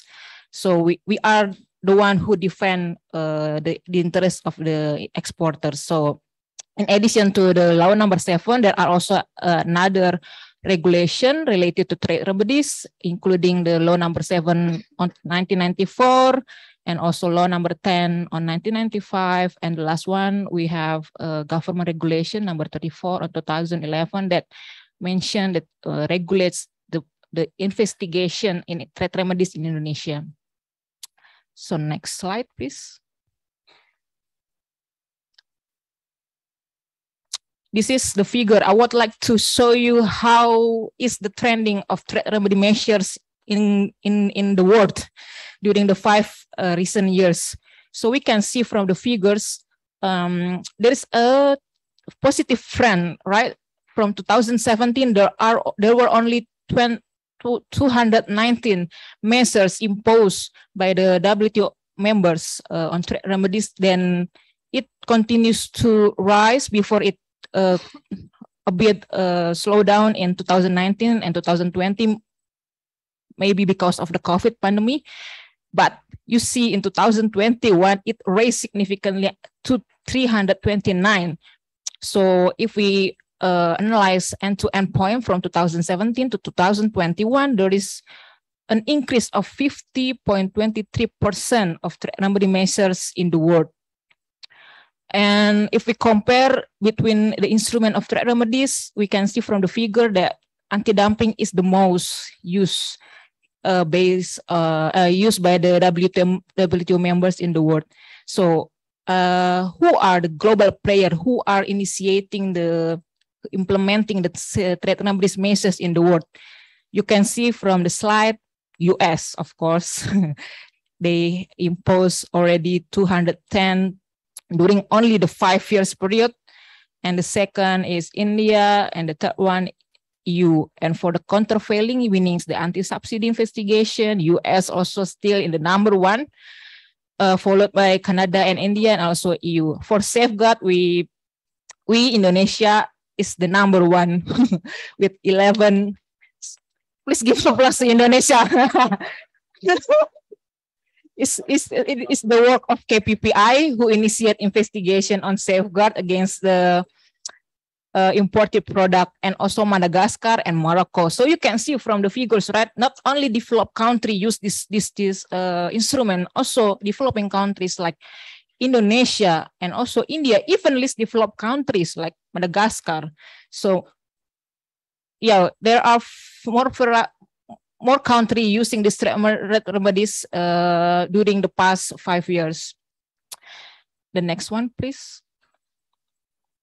So this is the figure of which uh, sector that have been targeted the most uh, in the world. Uh, you can see from the figure, it was metals like uh, iron and steel, uh, raw steel, uh, stainless steel, and so on, followed by chemicals. So for anti-dumping and CVD metals uh, is the most targeted sector and chemicals. But for safeguard during 2021, the most targeted uh, uh, sector is textile and articles and also metals. Next one, please. So we can, so we have seen uh, the trend of the increase of the use of trade remedies in the world. So what is the position of Indonesia being the target country uh, from all of the country? See from the figures during since the creation of WTO in 1995 to 2021, Indonesia placed at the seven uh, uh, become the most targeted country in the world. So Indonesia have been targeted for 242 times for the anti-dumping investigation. And as mentioned by Gustav and also by Joseph, not uh, all the investigation will end to an imposition. Sometimes the, the authority uh, decided not to impose the measures because they couldn't find all the elements that are required by the, the agreement, then the, the measures is not imposed. So from 242 initiation against Indonesia, only 158 ends um, uh, for the measures. And you can see from the figures, China is the most targeted country in the world for anti-dumping, followed by Korea and Taipei. The next one. And for anti-subsidy, Indonesia even placed at the fourth. See, Indonesia is really targeted very much by the uh, trading partner in the world from 1995 to 2021 there were 30 cases initiated against indonesia but then only 13 uh, 13 cases uh, were decided to be imposed uh, for the measures. So again, China still in the first place for the, the most targeted country in the world, followed by India and Korea. Uh, we cannot see the the position of Indonesia because for the safeguard because safeguard as mentioned by Gustav and also Pak Joseph is is going to be imposed for the whole country, not specific country. Next one. So we have seen the, the position of Indonesia being targeted of trade remedies investigation from the other country. And here we see how many uh, investigation that Indonesia has initiated uh, during the five, uh, during the uh, recent five years. So KADI, Committee Anti Dumping Indonesia, has initiated five cases in total for the past five years. And Indonesia has never initiated anti-subsidy investigation yet until now. And for safeguard, KPPI uh, has initiated a total of 11 investigations that place Indonesia as the most frequent users of safeguard measures in, in the world. The next slide, please. So here, um, the Directorate of Trade Defense, uh, our unit DPP, Direktorat Pengamanan Perdagangan, as mentioned by Pak Wijayadi in his remarks, we face uh, numerous uh, trade remedy investigation from various countries and per September 2022, we are still facing around 36 cases, uh, consists of 27 trade remedy cases, uh, which which um, around 75% of our cases handled by DPP and another cases are seven cases for HTP means hambatan teknis perdagangan seperti isu-isu labeling atau isu-isu penarikan barang yang tidak sesuai dengan standar di negara mitra dagang. So we also handle cases other cases uh, other than trade remedies and we also handle two cases of circumvention and during uh, this year, from January to September 2022, we've we already uh, we can say we we managed to win uh, 11 cases of trade remedies, meaning that no imposition to Indonesian exported product. Uh, while seven cases are decided to be imposed by the investigating authority, and for uh, hambatan teknis perdagangan, we we managed to uh, win five cases and zero cases was imposed. Next one. So as we mentioned before, there are still 20, around 27 cases ongoing uh, until September 2022, and we face various trade remedies from various countries. See, from South Africa, Afrika Selatan, the country of Gustav, and also America Serikat, Australia, Brazil, Filipina, India. In India is one of the most uh, is one of country that targeted Indonesia the most for trade remedies investigation. We face also cases from Korea Selatan, Madagascar, Peru, Taiwan, Thailand, Turkey, Ukraine, Uni Eropa, dan Vietnam. So, uh, yeah, uh, I already um, show you some figures and now uh, Pak Christianto turns to, to show you how we managed to handle those cases. Thank you.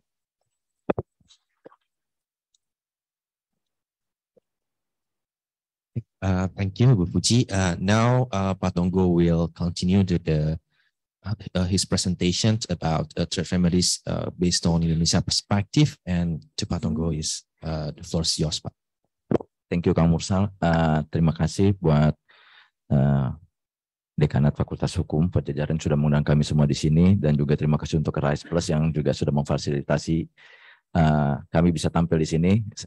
Uh, I will using English, Gustav. It means Indonesian English, so it's a bit mix between Indonesian and English. So uh, tadi kita lihat teman-teman adik-adik itu ada yang pengen jadi lawyer. Ini lawyer apa nih? Lawyer bisnis kah? Lawyer kriminal kah? Ini international trade semua atau international law pada umumnya? atau seluruh campuran? Hukum hukum umum berarti ya. Hukum umum. Oke. Eh, sedikit pengalaman saya dulu saya tuh waktu di sini tuh ini belum kampus di sini ini kampusnya bagus banget dulu kamp- kampus saya tuh di DU gitu. Terus kalau uni- perpustakanya we cannot borrow from the library. We need to like borrow it for only an hour to get it copied uh, in any cop- photocopy pa- paper place in in di Patu Ukur. So you have to be grateful and you have to use these facilities uh, at your own benefit at the maximum.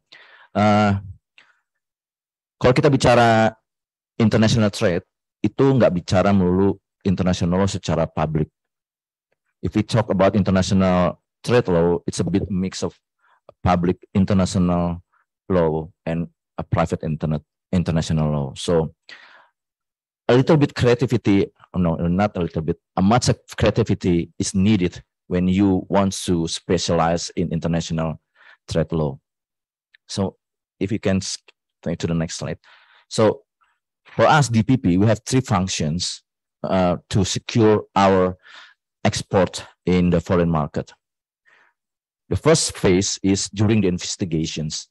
During the investigations, we must coordinate with all the stakeholders. For example, in the anti-dumping procedures, we have to coordinate with the uh, the company that being investigated, or with the associations, or even with the other ministry that uh, that what's called like that covers the the such sectors. For example, we need to coordinate with the Ministry of Industry and so on. So what is what's the paper's roles during the investigation? The paper's roles are to analyze every single document that presented during the, the investigation. We need to find any weaknesses that was presented either by the petitioner, I mean, either by the indus- the domestic industry in the foreign country that currently initiate the investigation against Indonesia, or by the investigating authority. We need to analyze every single document to find weaknesses. So we are kind of like a detective and also like an economist and a lawyer in the same time. So you cannot just read the the, the, the, the agreement on anti-dumping and you know exactly like the, the, the agreement. No, because like Gustav said, there's many interpretations because WTO agreement, my uh, my professors in in the University of Edinburgh say that WTO agreement is not pure legal instrument. It's basically a mix of legal document and a mix of negotiation product. So it opens for interpretations. That's why in so many uh, panel report and so on, you can find even though the product is the same, you can find difference here, difference in opinion and legal constructions. So you don't, you cannot be uh, a prominent lawyer like Pak Joseph if you don't, if you really only based on textbook. So you have to find creativity. You have to find legal uh, weaknesses on logical behind every single document submitted to the government.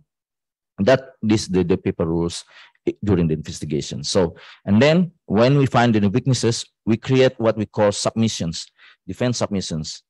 These defense submissions is vital for us to submit our defense to submit our positions against the investigations. So this document is very vital. For kalau kita ini mungkin lembar apa ya Pak ya? Eksepsi ya. Kalau di ini di hukum kriminal eksepsi kali ya. Kalau di nah ya. So ini seperti itu. Cuma instead of we eh, berhadapan dengan hakim, tapi kita pertama berhadapan dulu dengan otoritasnya si investigasi ini dan beragam otoritas, beragam kebijakan, beragam aturan. Lalu bagaimana ketika penyelidikan ini selesai? Apakah dikenakan, apa tidak dikenakan? Itu tergantung pada saat kita eh, membela eh, industri kita pada saat penyelidikan. Pada saat itu dikenakan misalnya, the doors of BPP kembali lagi kita berkoordinasi. We coordinate among the affected co- companies what will what will we will do in the uh, in the next step. Nanti dulu masih balik lagi. Shall we go to national court or shall we go straight to WTO? You have to uh, analyze the cost and benefit between the, these two roads. So, yeah, the DPP will also be will be actively participating in making the defense after the investigation is finished. And beyond that, we're also participating in negotiating, in diplomation. So, mungkin buat teman-teman ngerasa bahwa kalau kita belajar international law, itu cuma perannya Kementerian Luar Negeri. No, itu bukan cuma peran Kementerian Luar Negeri. Kementerian Perdagangan sangat aktif melakukan negosiasi di uh, perjanjian perdagangan internasional. Jadi kalau ada berita negosiasi perjanjian perdagangan internasional antara Indonesia dengan siapa pun, yang maju pertama itu adalah Kementerian Perdagangan. Kita garda terdepannya. Nah, apa peran DPP? Peran DPP adalah kita mengamankan akses pasar melalui kita mengusulkan proposal-proposal syarat-syarat atau pasal-pasal yang dapat menguntungkan Indonesia di bidang trade remedies. Nah, di sini pentingnya teman-teman juga bukan hanya belajar tentang agreement WTO, tetapi juga foreign regulation yang ada di negara-negara mitra. Contoh, saat ini saya lagi aktif uh, bernegosiasi dengan Uni Eropa. Benar Pak Joseph, saya udah berbulak balik ke Brussels ya. Iya, ah, kalau eh, Jatinangor bagus sekali, eh, kalau ke Brussels adalah ya empat kali lah. Jadi dan kita bernegosiasi sana. Tapi kita nggak bisa bernegosiasi dengan tangan kosong dan kepala kosong. Saya harus membaca aturan Uni Eropa dari yang pertama sampai yang terbaru, bahkan sampai draftnya pun yang akan mereka aplikasikan terkait trade remedies. Sehingga saya bisa ketika melakukan negosiasi, saya nggak bisa dibodoh-bodohin sama Uni Eropa. Saya bisa challenge, oh aturan kamu, kamu mau bikin aturan baru nih kayaknya akan mengecewakan Indonesia. Contoh, nanti teman-teman kalau misalnya tertarik, sekarang itu in Eropa, not right now in Europe has applied one new regulations in anti-dumping that was quite uh, contentious. There are new terminology there called significant distortions and uh, distortions in uh, raw materials. And there's the third parties government interventions. This terminologies are quite different than the one particular terminology called particular market situations that already existed in anti-dumping agreement. So, sesuatu yang baru, sesuatu yang develop, sesuatu yang mungkin nggak ada di textbook teman-teman, tapi itu menarik untuk kita lihat gitu loh. Dan itu jadi bisa ke teman-teman mudah-mudahan ya teman-teman akan tertarik apalagi kalau misalnya suka melihat perbandingan memperbandingkan perbandingan hukum satu dengan hukum yang lain misalkan gitu itu akan sangat menarik. Lalu sekarang misalnya nih Uni Eropa sekarang punya uh, cara lagi untuk menekan investasi negara asing di negara yang lain. Misalnya mereka gunakan namanya third country subsidies which is something new, completely different. Dan itu bisa menjadi kayak kalau kita bicara kayak Marvel itu kayak crossover between investment law and uh, subsidy, countervailing measure subsidy agreement. So there's this there's new development currently being developed in the role of international trade law.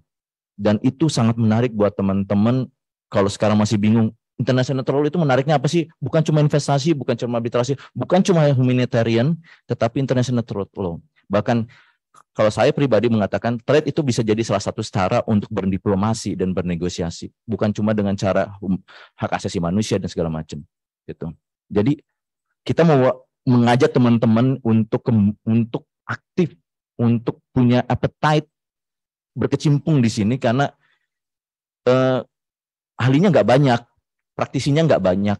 Dan kami butuh generasi-generasi baru yang untuk masuk ke perdagangan untuk bisa ya kita mimpi kami sih ada teman-teman yang nanti bisa jadi in-house lawyernya pemerintah karena seperti beberapa negara itu mereka ketika bersengketa di WTO mereka menggunakan in-house lawyer yang dari pemerintah sendiri bukan private lawyer dan segala macam. Wah, maaf ya Pak bukan bukan berarti saya mau mengambil kompetisi Pak Joseph. Tapi maksud saya adalah kalau mau jadi Pak Joseph bisa kalau mau jadi kami juga bisa kalau mau jadi seperti Gustav juga bisa. Semuanya uh, masa depan itu terbuka luas gitu loh.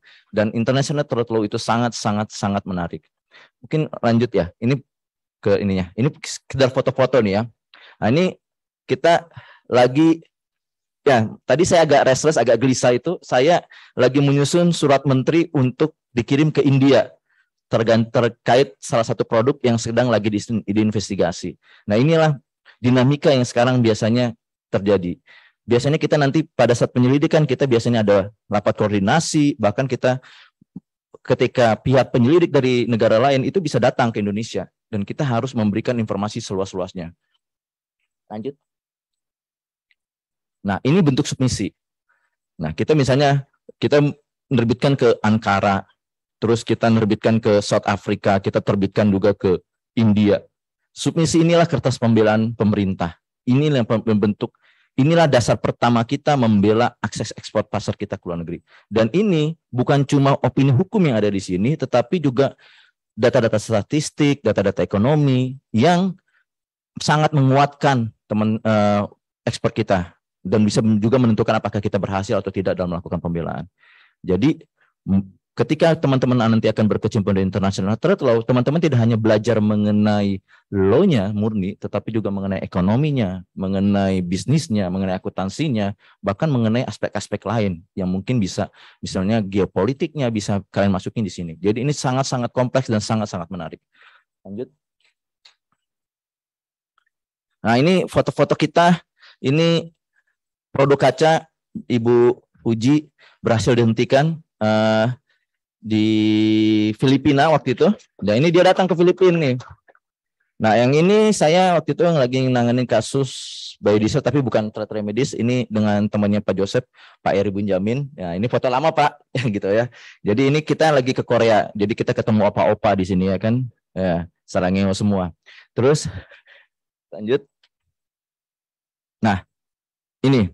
Ini juga ketika kita bernegosiasi dengan Filipina terkait special safeguard measures. Kopi instan kita itu sempat tertahan di Filipina sampai saat ini. Ada beberapa foto lain yang nggak bisa kita ini. Contohnya, kita juga sempat dulu sempat nggak bisa ekspor mobil ke Vietnam. Dan kayak saya juga dengan Pak Wijayadi itu sempat berangkat ke Vietnam untuk bisa melancarkan akses itu. Itu foto sidang WTO. Ini kita nggak karena pada sidang kita nggak bisa ambil foto. Ini foto yang dari publikasi WTO karena tapi beginilah situasi sidang di WTO. Benar-benar serius, benar-benar menarik dan semuanya itu lawyer lawyer-lawyer, ekonomis yang bisa mengungkapkan uh, pendapatnya, opininya untuk membela negaranya masing-masing. Nah, foto yang terakhir ini adalah foto ketika saya di sorry sebelumnya. Yang di ketiga ini ketika di Brussels. Bayangin ya, sekarang tuh lihat ya. Di sebelah kiri itu Uni Eropa cuma dua biji loh orangnya. Cuma dua orang. Sekarang itu cuma satu orang malah. Lihat di situ. Itu ada sekitar enam orang. Indonesia enam orang, lawan Uni Eropa dua orang. Begitu pentingnya kita butuh teman-teman untuk menguatkan international trade law. Bayangin, ini gap gap knowledge-nya itu jauh banget, gap skill-nya itu jauh banget. Dua lawan enam. Dan itu itu senior senior saya semua itu ya ada Bu Pratnya waktu itu ada Bu Erna segala macam yang yang sudah prominent udah senior uh, di di Kementerian Perdagangan. Itu pun kita berenam melawan dua orang. Itu yang botak itu namanya BC masih muda itu di sempat jadi atas atas Uni Eropa di Korea Selatan. Masih muda. Dan itu jabatannya cuma staff. Melawan satu orang direktur satu orang kepala kadi satu orang kepala KPPI gapnya itu besar teman-teman Indonesia dengan negara mitra kita Makanya kita butuh teman-teman, ayo kita sama-sama mengamankan akses pasar Indonesia. Ayo teman-teman aktif terlibat di international trade law, menguatkan uh, pemerintah, bukan juga menguatkan Pak Joseph juga nanti di, jadi lawyer. Bisa karena kita butuh seperti ini. Gitu. Karena semakin banyak lawyer semakin murah harganya, ya, Pak ya. Hukum hukum demand demand demand Pak. Jadi Jadi itu teman-teman. Jadi kalau teman-teman masih bingung sekarang apa sih sebenarnya international trade law itu? Ini potensi yang akan dapat teman-teman dapatkan. You can be anything, you can be anywhere dengan dengan, dengan kamu bisa spesif, uh, spesialisasi di international trade law. Lanjut. Nah ini kondisi saat ini adalah masih sedikitnya lawyer di Indonesia masih dihitung nggak nyampe lima ya Pak. Pak Joseph ya nggak nyampe lima ya lawyer ya untuk yang international trade law. Spesialisasi di international trade law. Nggak nyampe lima bayangin. Terus eh, dan juga buat teman-teman yang mungkin berminat kami membuka kesempatan untuk melakukan magang di Direktorat Pengamanan Perdagangan. Mungkin ada kasus-kasus yang teman-teman menarik yang sudah selesai ya. Kita catatan sudah selesai kita bisa bantu kita karena atau untuk memungkinkan tesis mungkin teman-teman yang di di virtual lagi S2 atau teman-teman doktoral juga mungkin yang mau ini bisa kita kita kita provide karena kita sumbernya A1. ya kan? Kita sumbernya A1 kalau ini ya. Karena teori itu bisa teman-teman bisa melihat langsung ini loh dinamika pemerintah membela uh, ekspor uh, kita ke luar negeri. Ini loh dinamika international trade law. Inilah dinamika Indonesia berkecimpung di kancah perdagangan internasional. Mungkin itu saja dari saya. Um, kurang lebihnya kami saya minta maaf dan kita lanjutkan dari sesi diskusi. Oke, okay, terima kasih. Plus buat Pak Tonggo. Okay, uh, now we are moving to the Q&A sessions. I would like to invite student uh, here and also for the student that participating by using Zoom, you may raise your hand or you may use uh, chat to everyone to deliver your questions. And please mention to whom the question is uh, intended to and uh, we will begin perhaps from uh, Zoom meeting first. Okay, anyone who want to ask the question? If you want to be a traveler, you may ask the question to Pak Tonggo or uh, Babaji, or you want to be prosper, or you want to be the rich man, you may ask the question to Pak Joseph. Okay, this anyone in the Zoom meeting want to ask the question? please raise your hand or you may chat. Or uh, seven, uh, perhaps uh, operator, can you help me to open the chat?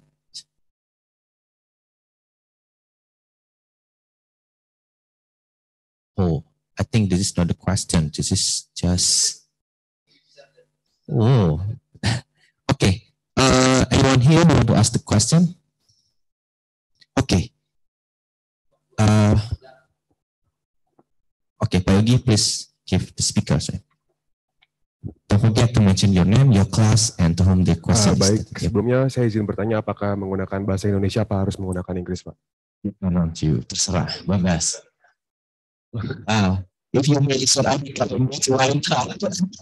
uh, baik, uh, mungkin karena pertanyaan saya terkait dengan dumping di Indonesia, saya ingin bertanya ke Pak Tompu dan Bu Prita menggunakan bahasa Indonesia.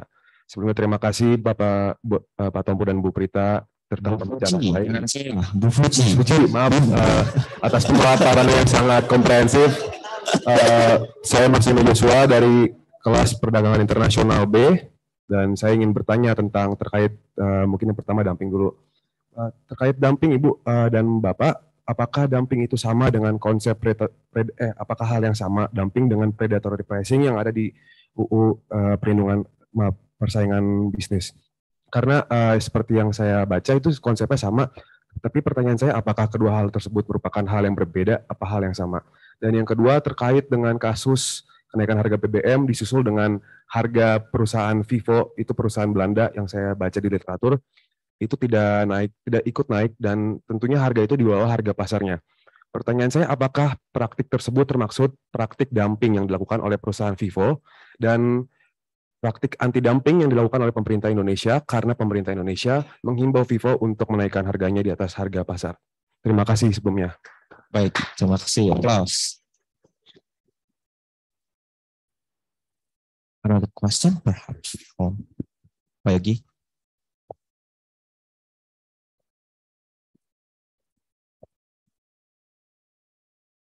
Okay, uh, thank you for the opportunity. Uh, my name is Kianu Zafa. Uh, saya dari hukum apa mahasiswa murid international trade law kelas A. Uh, I I appreciate uh, answer from anyone actually. Uh, what I want to ask is like Mr. Gustav said, the dumping isn't necessarily bad. because when there's no one selling a certain commodity, uh, a dumping is actually a good thing. But what if uh, on a certain uh, circumstances, uh, government decided that they finally can sell their own products as the same product as the company sells? Uh, what powers does the company have to defend themselves when the government suddenly impose an anti-dumping policy to them because they're suddenly a domestic product on sale? And where they can challenge the policy, do they go to the court from the country that imposed the policy or straight to the international court? And what outcomes does the possibly happens if the court said that the government that imposed the policy is actually on the wrong? Does the company still be able to continue sell their products, sell their products, or the government that imposed the policy will get a penalty from the, let's say, WTO? Thank you. Wow, such a technical question. Perhaps, uh, Gustav, you may respond to the second question first. You mean I'll I'll take it Oh, and it goes yeah, long because yeah. there are so many questions Yeah, in that one. Okay, let's let's start with a situation where um, product was imported, whether it's dumped or not, and then you want to start up a, a new industry in Indonesia. In one of the companies that I work with, um, we've developed um, call it a statistical analysis program, which we get direct access to um, literally transaction by transaction imports from customs. It's very nice. I know you would love it. And one of the things that we do is we look at products where the imports are increasing and especially if prices are decreasing at the same time, because that gives you an indication as to maybe dumping is taking place. And if there is an industry, then of course we would go to that industry and say, well, it looks as though there might be dumping. Can we assist you? Can we bring a case on your behalf? But as an industry, what you would do is you would look at those same figures. You'd see, oh, we have 20 billion rupees of imports in a year. Um, well, there's nobody manufacturing it. Maybe I should start producing it because if I can sell half of that, I could start building a decent industry. So you can have a look at the import statistics, decide, is there a market for a product? You look around, you see nobody else produces it here, and you can then decide to start um, building an industry. But what you then find is that dumping takes place and you can't actually enter that market. Now, there is a provision under Article 3, well, technically under footnote 9 to Article 3 of the agreement, that says that you can determine injury in three ways. You have present injury, you have a threat of injury, which means if I don't do something now, there will be injury shortly. But then we have a provision which is not widely used, and we've only had one WTO dispute on that, and that is material retardation of the establishment of an industry, which means you can say that because of dumping, I cannot establish my industry. And the panel that ruled on that, that was the Morocco hot rolled steels case, specifically said that there are two things that you have to look at. First of all, is it a new industry? So if you take an existing product and you just tweak it slightly, that's not a new industry. So for instance, let's take a, a, memory stick. You have a memory stick with a capacity of 64 gigabytes. Now you produce one which is 128 gigabytes. It's still a memory stick. There, there might be some um, circuitry in, on the inside that's different, but it's not really a new product. But let's say you you always produced memory sticks, and now you start producing these what do you call the flat ones, the flat the flash disks. Um, yes, it does the same job, but it is a completely different product. It's used in a different product. It's used in a camera which you won't use a memory stick in, etc. So that might be it's still the electronic industry, but it's a completely new product. You make a substantial investment in that after you've conducted your um, environmental studies and all those type of thing, impact assessments, the works, and you actually start to build your factory or you start production, but now you can't do, go any further because of the dumping. Then you can bring a case on the basis of material retardation. And you can then, even though you may not have a situation where you've actually had any sales, you can still impose an anti-dumping duty. It's not something that's often used. India is the biggest user, but they have 10, 15 cases on that. So out of more than a thousand cases that they've conducted. Um, Morocco obviously has used it. They've been challenged and found to be not compliant. Um, we've used it once. We were fortunate not to be challenged because it, the application was completely wrong. And I think the US has used it twice. I don't know about other countries, but there would be some examples here and there. If you go to court, the, the big question is what type of court do you have? And that varies very significantly by country. Now, the anti dumping agreement, but not the subsidies agreement nor the safeguards agreement, requires that you must have an independent court or tribunal or administrative procedures to review decisions of the local authorities. So there is that requirement, but for some reason only in the anti-dumping agreement. In some countries, you have specialized trade courts. You have a trade court in the US. You have a trade, essentially a trade court in the EU. In other countries, it's just normal court. So you go to the Supreme Court. In, oh, it's now nine years ago, 2013, there was a book published on judicial review on trade remedies. And at the same time, there was in the Journal of World Trade a whole series of articles, 11 of them, on judicial review of anti dumping specifically. And essentially, and, and this is a very big problem, and again, this is where lawyers have to come in. What was found is that judges don't understand. So, for instance, in South Africa, if we have judicial review of anti dumping and there's anything relating to administrative procedures, the judge seizes on that because they know administrative law. But the moment that you start arguing the facts of the case, the calculations, the substantive issues, the judge tries to steer away from that. So, of all of the judicial reviews we've had, we've had one case where a judge actually addressed the substantive issues. Otherwise, they just try and skirt the issues because they, they simply don't understand. Now, for instance, in terms of our legislation, we can appoint, or a judge can appoint an assessor to assist in interpreting the information but the problem is that judges are very proud people. So they don't like to acknowledge that they don't understand. So they don't appoint an assessor and then they make mistakes. So, and, and that's unfortunately common around the world as well. For you as a lawyer, if you go to court, and I'll get to the issue as to whether you go to court or to the WTO, you have to be able to present something in such a way that the judge can actually understand. So I can give you anti-dumping calculations, which I think nobody in this room will understand, except maybe our colleagues from DPP. I can show you calculations or formulae on the determination of injury, which I won't understand because it is such complicated economic calculations. So to try and explain that to a judge, um, it's a pity I, I, I, don't have it here. We could have put it on the screen. How to calculate the value of a subsidy in the form of a grant where it has value over a period of time. So for instance, government gives you a grant so that you can build a factory and the factory will be able to build for the next 10 years.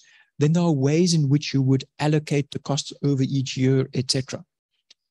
And when I looked at that formula the first time, I think I, I struggled with it for about five or six hours, trying different scenarios, different figures, etc., to try and understand how it worked.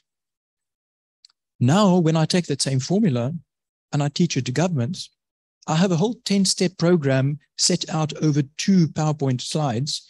And I tell them, what you do is there's a formula, and everybody goes, you say, Step one, you do this. Step two, step three, step four, step five. And you take them literally through 10 steps. And the very first time I did that was with the government of Mauritius. And then I gave them an exercise. And five minutes later, every single person in the class had the right answer. So, how do you explain to a judge? Step one, step two, step three. It sounds stupid, but judges don't understand economics, or very few judges do. So if you go to court, that is the one thing that you have to bear in mind. If you can argue procedural issues, you have a good chance. If you argue substantive issues, you will have to very, very carefully explain things. How do you decide whether you go to court or to the WTO? You don't decide. The government does. Because you don't have locus standi at the WTO. Only the governments have that. So what you have to do if a company in Indonesia um, is unsatisfied with the result that they got, they would have to come and speak to DPP. And then they will explain the process exactly how it works. But the government of Indonesia will have to then take a decision whether to go or not. Now, the problem is that not all companies in the industry may have the same interest. So, for instance, we represented cement exporters from Pakistan. I know you don't like that because Pakistan is doing cement against you. Um, but anyway, so one of our clients got a relatively low duty. I think it was eight or nine percent, and the others got 20 and 30 and 40 percent. And there were significant problems in the investigation. Pakistan actually challenged the preliminary decision in the WTO. It didn't go beyond consultations. And then the final decision, when government decide, had to decide whether to challenge or not, the biggest company, Lucky Cement, with the lowest duty, told government, no, we don't want to go to the WTO. Because what it thought would happen is the higher duties on its competitors would give it the market in South Africa because 10% duties, they were still more than 10% below the South African price. So no dispute. What happened? Oh, China took the market because there are no duties against China. So now they're stuck. So if they had decided at that stage to challenge it, in all likelihood, the decision would have been to withdraw the duties because the decision would have been adverse against South Africa. They made many mistakes in that investigation, and there would have been no duties against Pakistan. So you also have to look at what the industry wants. DPP is not going to say that, oh, we're going to challenge this measure if it's not something that the industry wants. They're not necessarily going to challenge it if the industry wants that because there are obviously other things at play as well. Politics does do play a role. Um, again, they can give you more information on that. One of the issues that you have to consider is if you want to take a case to court in the United States, how much money have you got? Because it's going to cost you a lot of money. If you go to the WTO, technically it doesn't cost you anything because government has to pay for that. Although you do find that in some countries, and I'm not sure what the situation is here, industry often makes a contribution. For instance, Bangladesh was the first LDC that declared a dispute and that was against India. But they said, they told the industry, we cannot declare a dispute. We don't have the expertise. We don't have the money. We can't pay people, etc. And the company said, we'll pay. So that does happen. Um,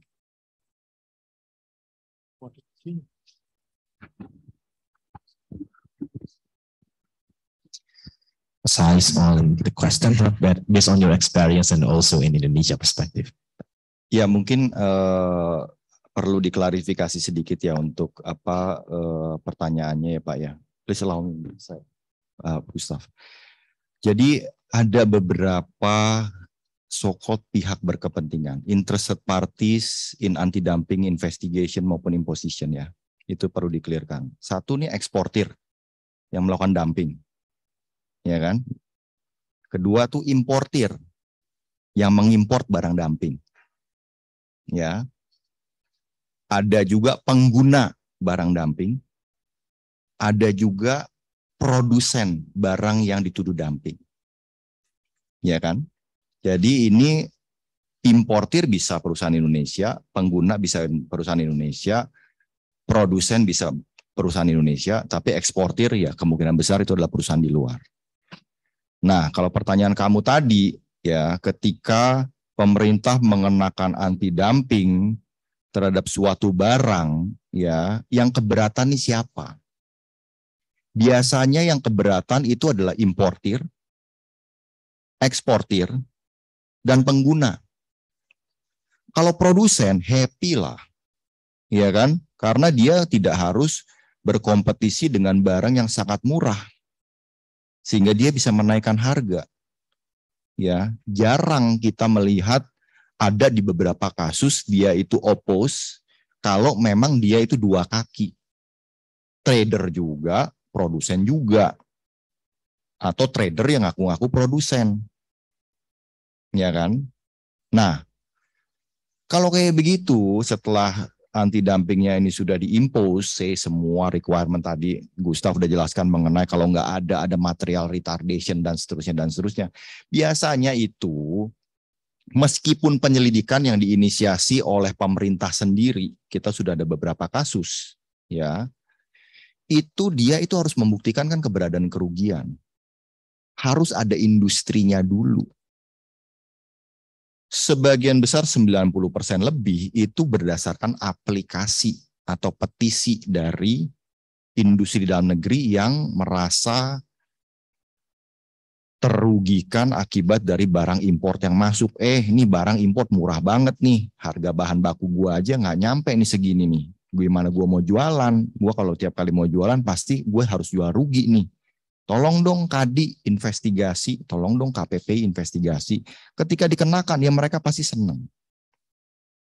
Nah, kalau tadi kamu nanya gimana caranya mau bawa ke WTO atau mau bawa ke pengadilan, tergantung siapanya. Kalau kamu represent eksportir, ya bisa nggak sekarang dia bawa ke pengadilan Indonesia? Untungnya bagaimana plus minusnya atau dia harus meyakinkan pemerintahnya dia untuk membawa Indonesia ke WTO. Nah, tapi kalau importir dan pengguna, masa kita menggugat pemerintah sendiri di WTO? Kan nggak mungkin. Ya kan? Jadi venue-nya itu kalau memang itu kemungkinan either dia ngompor-ngomporin perusahaan apa pemerintah eksportir atau dia bawa ke court.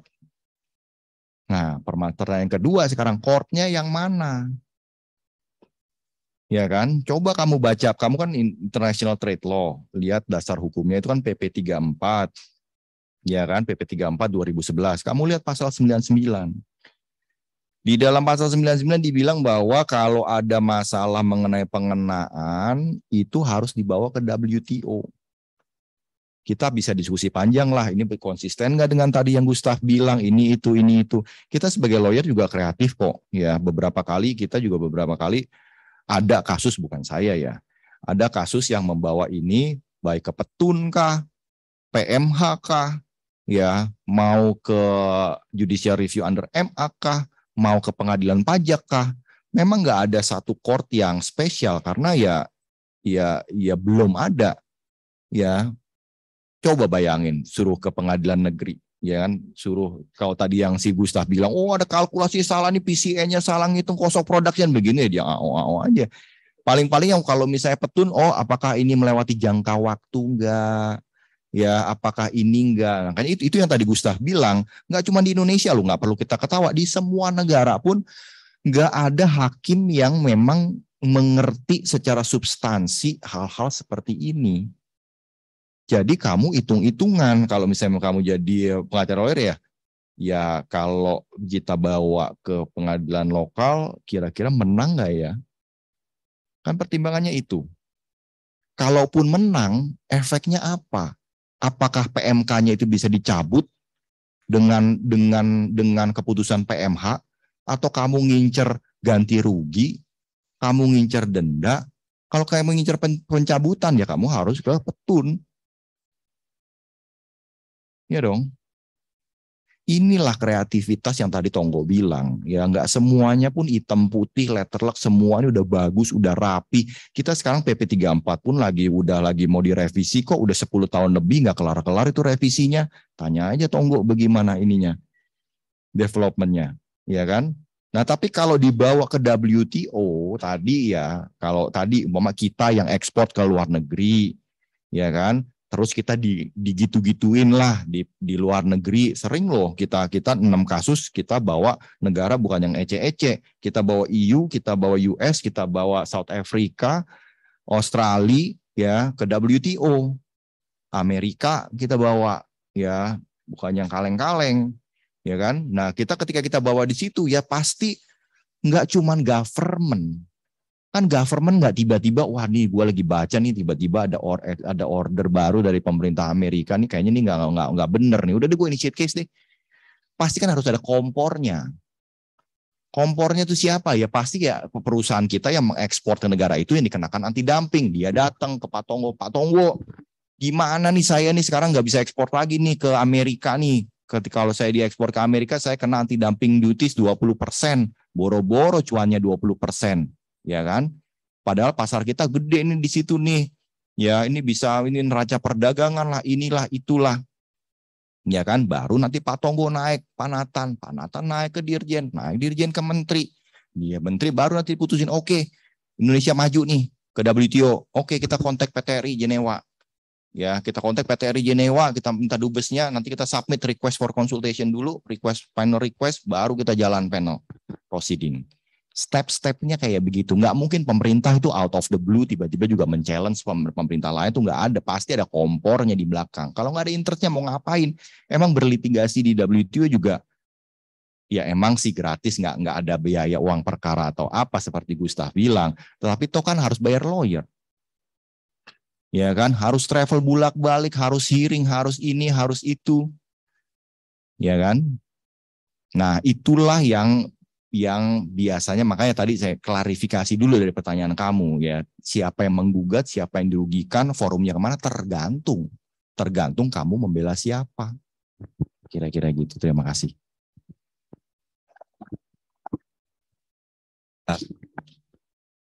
Uh, komprehensif. Terus Pak Joseph, selanjutnya mungkin bisa ke Bu Fuji dan Pak Tonggo mungkin bisa sekaligus merespon pertanyaan yang pertama juga. Silakan Bu Fuji. Ya terima kasih Pak Mursal. Saya dan Pak Tonggo akan coba merespon pertanyaan yang pertama ya eh, terkait predatory pricing dan anti dumping. Jadi mungkin saya jelasin dulu ya eh, anti dumping itu penyelidikannya eh, melibatkan perbandingan harga. Jadi dumping itu sebenarnya kan tidak dilarang secara gamblang ya. Sebenarnya dumping itu boleh nggak dilarang oleh peraturan internasional. Yang dilarang itu kalau dumpingnya menyebabkan kerugian terhadap industri yang memproduksi produk yang serupa dan ada hubungan sebab akibat antara praktik dumping tersebut dan juga kerugian yang terjadi. Jadi kalau nggak ada kerugian yang terjadi di industri yang serupa, dumping nggak masalah dong. Justru malah mungkin lebih bagus karena pengguna produk itu bisa menggunakan uh, produk itu dengan harga yang lebih murah. Toh nggak ada juga yang dirugikan karena nggak ada juga produsen yang menggunakan yang memproduksi produsen yang serupa, produk yang serupa. Namun ketika ada industri dalam negeri yang memproduksi produk tersebut barulah uh, ada timbul uh, penyelidikan anti dumping. Nah, di mana nanti uh, otoritas investigasi itu akan membandingkan uh, harga harga uh, produk ya ketika diekspor ke negara tujuan ekspor dan juga ketika harganya produk itu dijual di dalam negeri. Ketika harganya dijual di harga, negara tujuan ekspor dengan harga yang lebih murah dibandingkan yang dia jual di dalam negeri, barulah uh, muncul adanya dumping dan itu praktiknya dilakukan oleh perusahaan. Bukan tadi kan uh, ada sebut-sebut mengenai BBM ya uh, pemerintah. Itu uh, kalau dumping ya uh, sebagian besar emang kalau nggak salah yang semuanya juga praktiknya dilakukan oleh perusahaan. Dan bukan dari praktik government kecuali penyelidikan anti subsidi baru memang kebijakan-kebijakannya kebijakan dari pemerintah.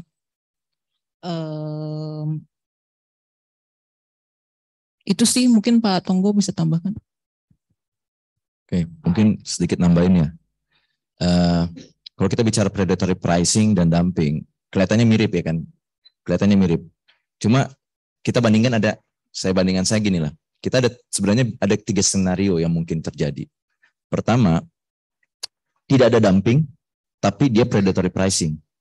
Contoh, misalnya gini, saya jual di Indonesia itu 10. Saya jual di Malaysia itu 12. Tidak ada dumping. Tapi harga dua jual di 12 itu itu bisa jadi predatory pricing di Malaysia ketika harga industri yang sama di Malaysia itu 20 misalnya. Predatory pricing bisa. Ya kan? Atau skenario kedua, ada dumping tapi tidak predatory pricing. Contoh, saya jual di Indonesia 10. Saya jual di Malaysia 8. Tapi harga produk dalam negerinya Malaysia jual 6. Predator pricing enggak? Enggak. Atau skenario yang ketiga, saya dumping dan saya juga predatory pricing. Jadi ada tiga skenario. Nah, rezimnya berbeda. Kalau kita bicara predatory pricing, kita bicara hukum nasional yang berbicara tentang competition. Makanya kalau kalian membandingkan dengan EU, sesama negara EU itu tidak akan mengenakan instrumen trade remedies. Among EU members, there's no such thing as dumping. They use competition law. Kenapa? Karena competition at some point, saya nggak bicara semuanya ya, at some point bisa jadi lebih mudah untuk dikenakan. Persis saya Pak Joseph ya, at some point. Gitu. Tetapi kalau kita bicara dumping, perbandingannya bukan membandingkan barang impor, harga barang impor dengan harga domis, harga barang domestik sejenis, bukan. Tapi harga barang impor dengan harga asli barang impor tersebut di negara asalnya. Jadi completely different regime. Ya. Nah, uh, kembali lagi, kalau misalnya tadi kasusnya Vivo ya, Vivo. Nah itu kalau misalnya predatory pricing kah atau segala macam, kembali lagi kita harus melihat Vivo. Kalau misalnya kita bilang itu itu predatory pricing atau tidak, itu nanti ranahnya KPP akan menyelidiki benar nggak predatory pricing atau tidak. Tetapi setahu saya semuanya itu kan nanti regulatornya adalah PSDM, Menteri SDM ya. Kalau kita bicara khusus spesifik tentang BBM Vivo. Lalu yang kedua itu nanti ranahnya KPP. Tapi apakah itu dumping atau tidak? Kita lihat lagi. Si Vivo ini ngejual harganya produk spesifik yang sama dengan yang dia jual di Indonesia itu lebih rendah nggak harganya dibandingkan yang ada di uh, negara asalnya Vivo misalnya. Kalau ternyata harganya ternyata lebih tinggi di Indonesia, ya nggak ada dumping. Tapi kalaupun ada dumping, sekali lagi ada trifecta untuk dumping. Ada kerugian nggak? buat industri dalam negeri kita. Dan yang unsur yang ketiga, ada kausal nggak? Ada sebab akibat nggak antara adanya praktek dumping, kerugian, ini harus ada sebab akibat. Kita nggak bisa bilang nih dumping, terus langsung kita kenakan BMAD, misalnya gitu, BM masuk anti dumping ya. Kalau misalnya tidak ada trifecta ini, tidak ada tiga unsur ini, karena agreement jelas-jelas mengatakan harus terbukti tiga. Adanya dumping, adanya kerugian di industri domestik, dan adanya hubungan sebab akibat causaling. Salah satu tidak terbukti, penyelidikanmu bisa digugat gitu loh. Nah, kalau kembali lagi kita bicara lagi, kalau kita bicara hukum kompetisi, ya berarti kita nanti bicaranya di ranah hukum e, nasional kita misalnya. Kalau KPPU nanti membuktikan itu nanti KPPU. Kalau KPPU digugat mungkin ranahnya lewat gugatan di pengadilan misalnya, di pengadilan nasional kita. Intinya itu adalah jurisdiksi nasional kita. Tetapi kalau kita bicara dumping, nah harus hati-hati karena dumping ini kita udah bicara international trade law. Kalau misalnya kita nanti misalnya menuduh itu dumping, dia punya punya kesempatan dan punya hak untuk bisa ikut dalam penyelidikan dan kalau misalnya penyelidikan kita salah atau segala macam, dia punya hak bukan perusahaan Vivo-nya ya, tapi negara di mana perusahaan Vivo itu terdaftar berdiri, negara asalnya punya hak untuk menggugat Indonesia di ranah WTO. Jadi completely different regime tapi at some point itu bisa bisa terjadi bersama. Ada tiga skenario yang tadi. Wah. Mau tambahin dikit. Kalau di Indonesia sendiri eh, penyelidikan anti dumping itu kan dilakukan oleh investigasi otoritas investigasi ya Kak di KPP tadi kan. Tapi nanti yang memutuskan kan ada namanya pertimbangan kepentingan nasional. Dan di tim pertimbangan kepentingan nasional ini salah satu eh, lembaga yang terlibat adalah KPPU Komite Pengawasan Komisi ya pengawasan usaha ya. Jadi walaupun eh, misalnya terbukti ada dumping, tapi nanti ada tim pertimbangan kepentingan nasional yang termasuk di dalamnya adalah KPPU ikut dalam rapat tersebut. Dia juga akan menganalisis apakah ada indikasi monopoli, eh, adanya persaingan usaha yang tidak sehat, dan itu juga termasuk dalam analisis uh, dari Kementerian uh, tim kepentingan pertimbangan kepentingan nasional tersebut sebelum memutuskan apakah untuk um, mengimpos kebijakan anti dumping ini atau tidak. Oke, demikian terima kasih. Baik, terima kasih uh, Pak Tonggo dan Bu Puji. Uh, um, we just received a question from the our right side, and now we look for the question from our left side. Perhaps is there any question? Yeah. One more question perhaps. Okay. Yep. Okay.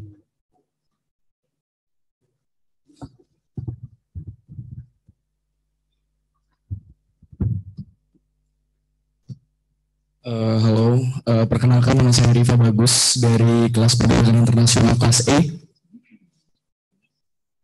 First of all, uh, thank you very much for uh, all of the speakers for the explanation. Very interesting for me and insightful. Uh, is it permitted for me to ask more than one question? First to Mr. Gustav and next to Mr. Joseph.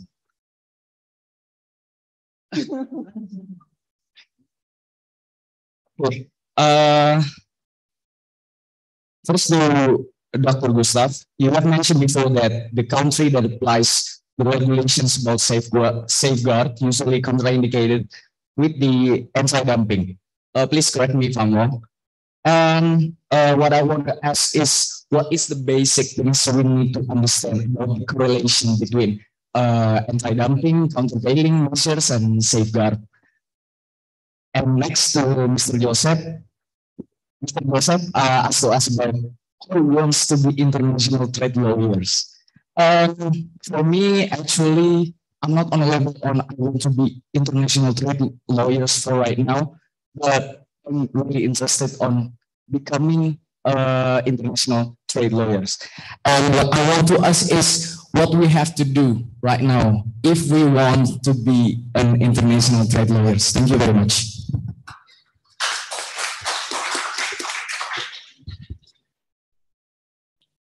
Okay, so, so first of all, let's start with the correlation between anti-dumping and countervailing, um, because that's what you often find. It's, it's actually very seldom that you will find a countervailing case on its own. It's usually part of an anti-dumping investigation as well. So you have a lot of anti-dumping cases without countervailing. You have very few countervailing without anti-dumping. Let's look at a situation where the domestic price is 100, the export price is 80. But the reason why it's 80 is because the government gives an export subsidy of 20. Forget about the fact that it's technically a prohibited subsidy and so on, because it still happens. In a case like that, you have the option to either have anti-dumping or countervailing because it's the same thing. You can't have anti-dumping for 20 and countervailing for 20 because then you double counting. Your problem arises when you have an export price of 80 and a domestic price of 90 but there's a subsidy of 10. So the domestic, the, the government subsidizes the cost of production in that country by 10. And on top of that, there's dumping as well. Let me give you a practical example. We had an investigation on cheese. Now, in Ireland, at that time, let's say that um, you had you paid the farmer 100 rupiah for a liter of milk. You need 10 liters of milk to make one kilogram of cheese. So that's already a thousand, excluding the other um, products, the rennet, the labor costs, etc. But in Ireland, the cheese was not selling at a thousand; it was already selling at 800, and then it was exported at 500. So you now have a situation where your domestic price decreases because of a subsidy. And you can't anti dump that because there's no dumping on that part. But then on top of that, there's dumping as well. So in a case like that, you would have both an anti dumping and a countervailing investigation at the same time. And you would have measures against both of them. Now you complicate it a little bit more with a safeguard. Let's go back to the lysine investigation. Let's assume that all other requirements for all measures have been met. So in anti-dumping, you had dumping, you had, you had injury, you had causal link. In safeguards, you had unforeseen developments and GATT obligations that led to an increase in imports. And you had injury and a causal link. You may recall that what I told you was that the prices from China were about 650. The prices from other countries were significantly higher. So what you could have done is you could have had your safeguard of 27%, because that would have protected the domestic industry against fair trade. But that would still leave the unfair trade dumping from China. And then you could have had an anti-dumping duty of maybe another 30 or 40%, depending on what your findings were, that specifically applied to China, while the safeguard applied to everybody.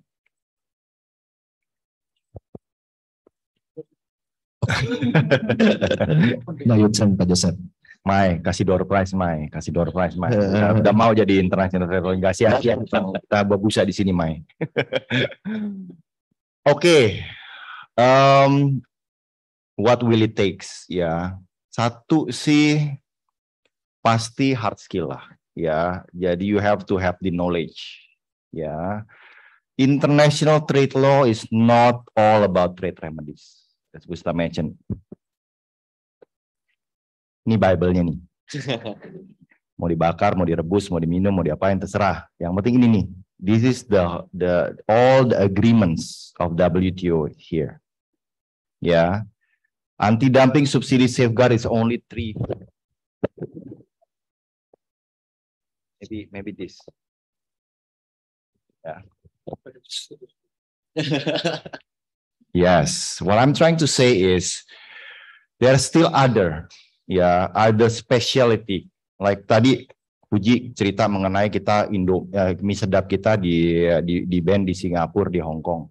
It's about SPS ya terkait dengan human health public health ya. Ketika kita jual barang terus di dilarang dengan alasan kesehatan ya.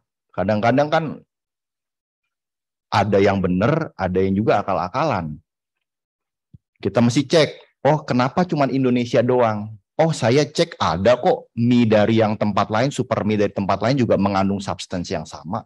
Kenapa cuma Indonesia doang dilarang? Oh lu ada nggak standar internasionalnya yang melarang substansi itu nggak boleh di dalam makanan?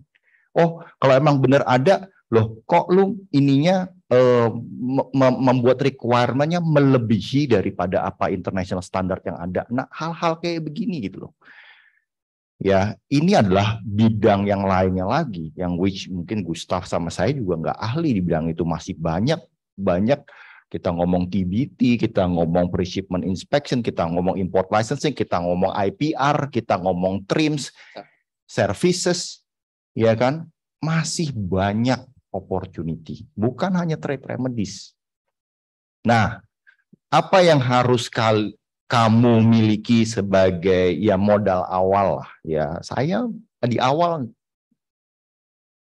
lulus kuliah nol nggak ngerti nih begini beginian ya. Dulu dulunya hukum dagang profesor juga nggak pernah datang ya kan. Itu juga nggak tahu ya kan yang ngisi.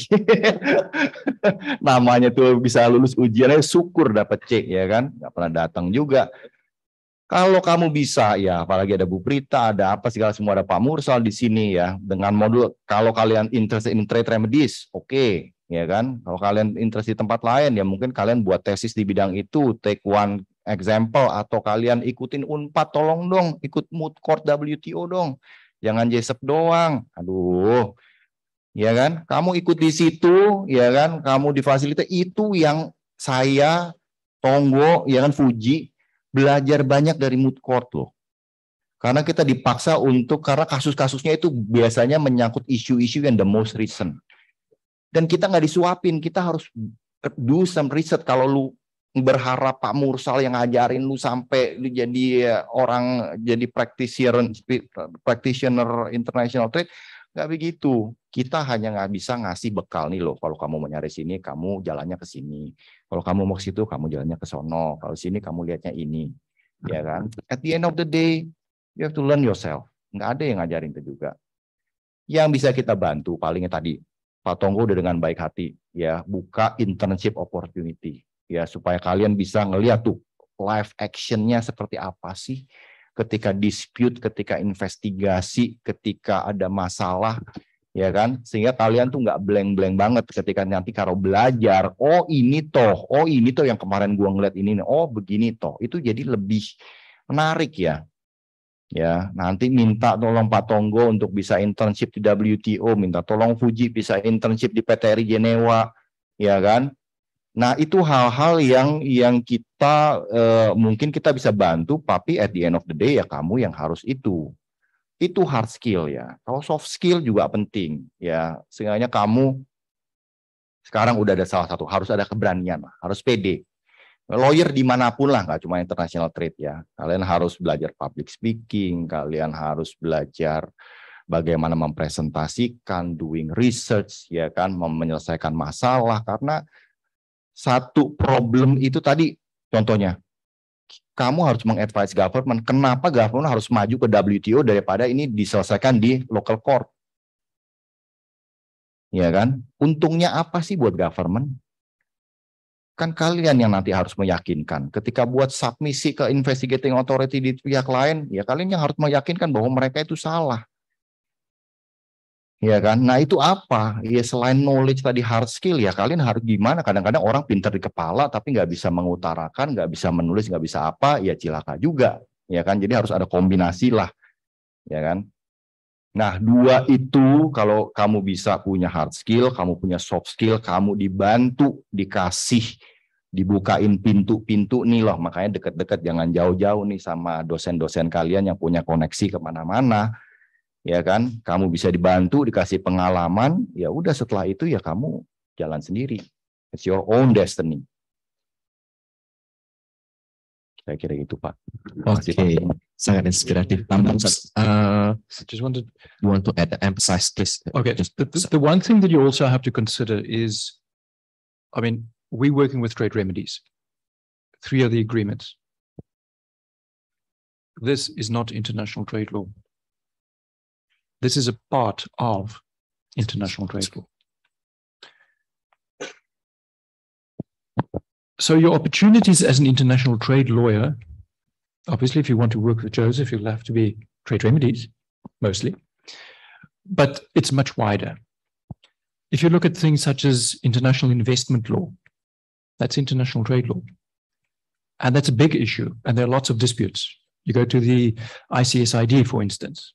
Um, if you look at um, what in the WTO would be TRIPS, your intellectual property rights, More money investment. much, much, much more, Much, much more. much more money. and more. And and the thing is, we, we have the TRIPS agreement, intellectual property. But what is the TRIPS agreement about? It's about implementing agreements that are already there. So you have the Berne Convention, you have the Oslo Convention, you have, you have, you have, etc.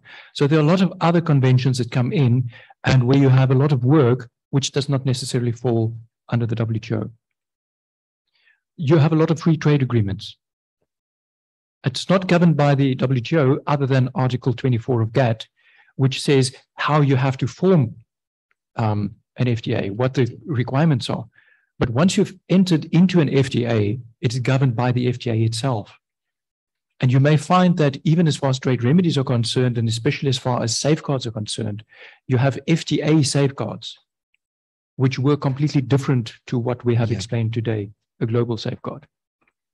So you have to consider that, yes, trade remedies may account for more than 50% of all disputes in the WTO. So maybe there's a little bit more work there as a lawyer than on some of the other agreements. So if you're going to become a specialist on rules of origin, Yep. your chances of getting to a WTO panel would be relatively slim. But don't look only at trade remedies. Don't look only at the WTO because international trade law is much wider than that. Totally agree, Gustav. Okay, Tonggo, you want to add some emphasize, please? nambahin buat tadi ya. eh, tadi kami juga diskusi dengan Pak Joseph sebelum ke sini, terus juga dengan Pak Mursal. Kita kalau tertarik dengan international trade law, kan selama ini kan Unpad tuh banyak tuh mood court-nya, tapi nggak pernah ikutan mood court dan Jackson ya. Iya. Ya, ini pengalaman saya, saya pernah ikut waktu di Edinburgh itu. Eh, mood court dan Jackson itu kamu nanti bisa, kalau kalian ikut nanti ya, mudah-mudahan ada yang mau ikut dan mudah-mudahan disponsori oleh akademi ini ya, Unpad ya, karena cukup mahal ya. Tapi gini, di situ kalian bisa melihat bagaimana mahasiswa-mahasiswa hukum di seluruh di, banyak negara berkreativitas membangun argumen hukum, membangun argumen pembelaan. Karena nanti mekanismenya itu kalian akan satu jadi penggugat, satu jadi tergugat dua kali, dua kali sidang. Dan nanti eh, kalau kalian lulus di regional, bisa final nanti disponsori untuk datang ke Geneva di markasnya WTO langsung. Tapi bukan soal jalan-jalannya yang saya mau tekankan adalah di situ kalau kalian aktif terlibat itu akan sangat menarik.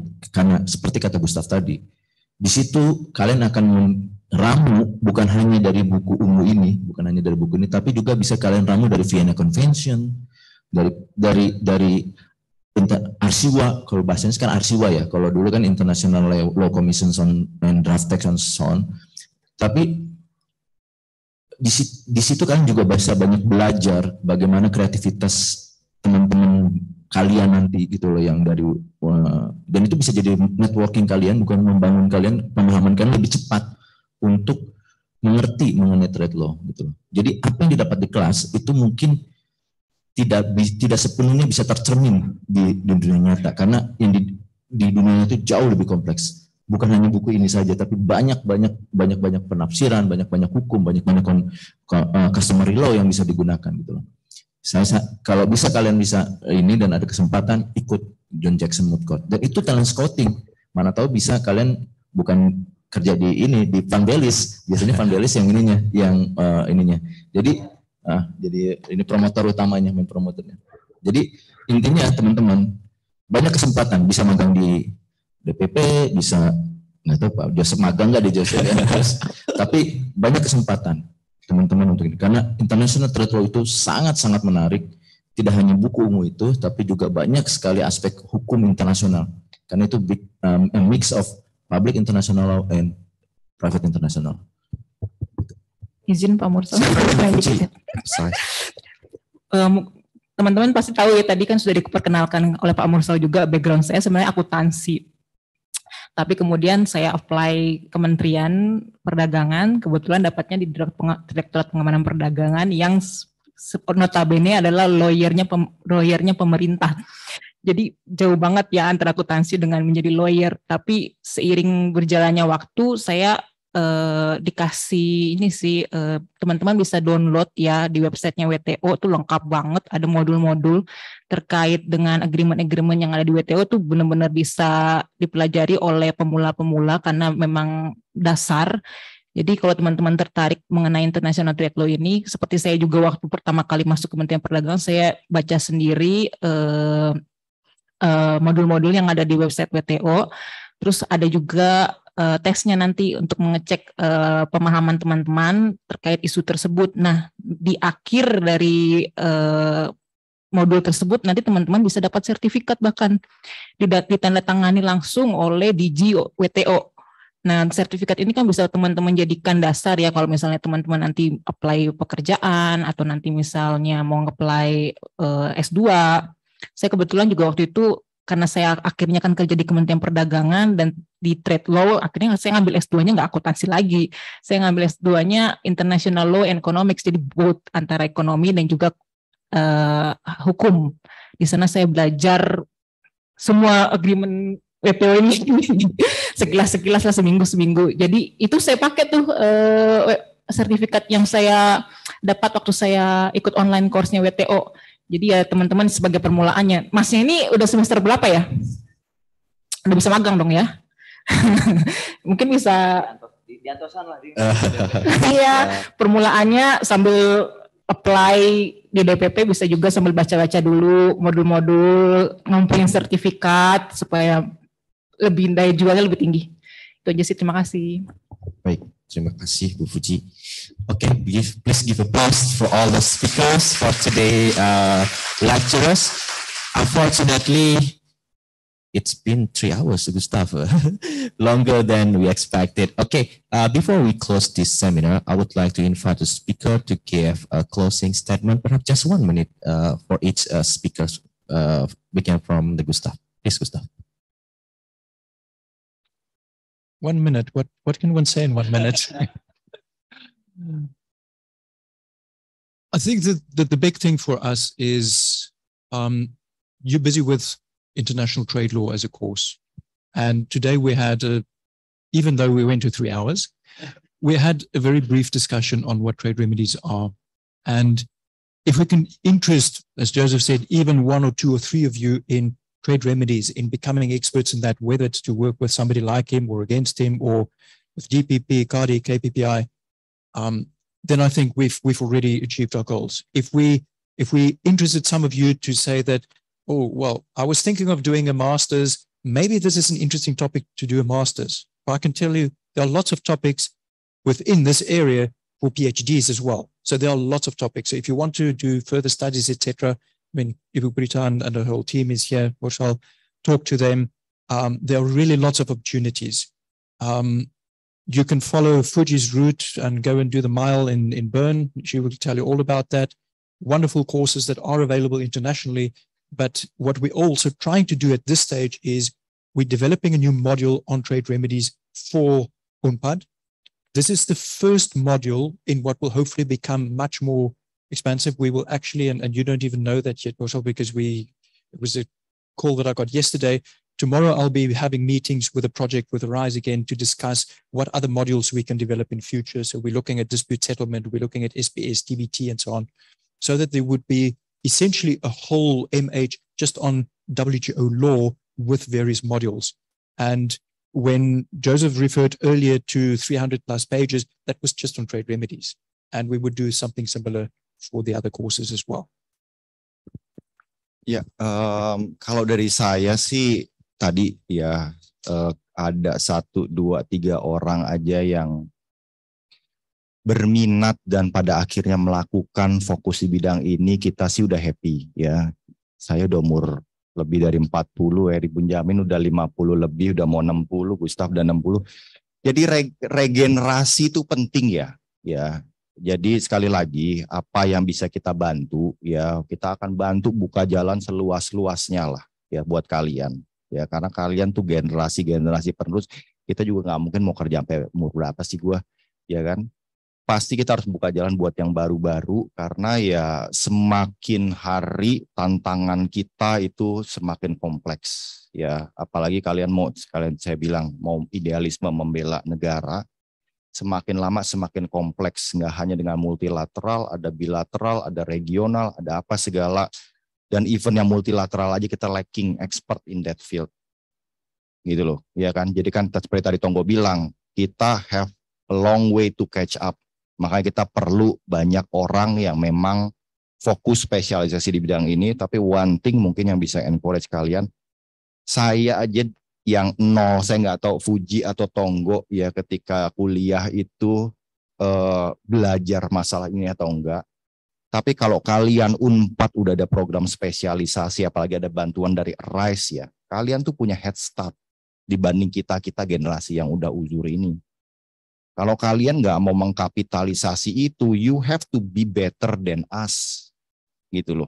Kita aja yang di awal-awal nggak atau apa-apa nggak nggak belajar beginian aja sedikit banyak bisa meniti di bidang ini. Apalagi kalian yang sudah diberikan luxury dari kampus ya dengan pengajar-pengajar yang kompeten dengan modul-modul yang dibuat oleh expert-expert yang ada ya sekarang tinggal niat ada nggak niatnya ada niat pasti bisa lah Ya, makasih. Kalau dari saya sih pendek aja ya. Semoga dari sesi diskusi kita hari ini semakin banyak teman-teman yang memiliki ketertarikan di bidang uh, international trade law, khususnya trade remedies. Um, jangan takut dulu ya. Kayaknya kok tadi pembahasannya kayaknya ribet gitu, dumping hitung-hitungan, terus ada kerugian itu apa gitu. Semua bisa dipelajari eh, asal ada niat seperti kata Pak Joseph pelan-pelan aja eh, seperti saya juga dulu benar-benar dari nol nggak ngerti apa-apa tapi akhirnya terjun di dunia ini dan menarik sekali bisa eh, ber, bisa menjadi eh, bagian dari tim pemerintah Indonesia untuk membela kepentingan-kepentingan ekspor eksportir Indonesia yang mengalami hambatan di negara mitra dagang. Nah, kalau teman-teman e, nantinya ada yang tertarik e, untuk bisa e, belajar lebih lanjut terkait treatment medis, pengen terjun langsung dengan magang di DPP bisa menghubungi kami, saya dan Tonggo. E, itu aja sih. Semoga teman-teman jangan takut ya, jangan justru makin e, menjauh dari trade law ini justru kita harapannya pengen lebih banyak lagi generasi-generasi muda yang mempelajari isu ini. Demikian terima kasih. Kalau dari saya mungkin cuma ngutip lagunya Aladdin ya. Jadi international trade law itu a whole new world, a new fantastic point of view. Ya, jadi like really, saya dulu kuliah hukum perdagangan internasional, Pavuala, saya tidur dan dapat C gitu. Ya, jadi ini kualat terus saya masuk bankir BRI terus nyemplung di perdagangan ini. Tapi di sini saya sadar bahwa ya tadi dua dua dua lirik Aladdin tadi whole new world and fantastic fantastic point of view. Jadi buat teman-teman kesempatan itu terbuka lebar sebenarnya. Silakan bergabung, silakan menjadi international trade lawyer seperti Pak Joseph, international trade expert seperti Gustav, bahkan mungkin bisa jadi mungkin salah satu dari teman-teman akan menjadi orang Indonesia pertama bisa jadi panelis di WTO, bisa jadi. Kita tunggu itu. Terima kasih.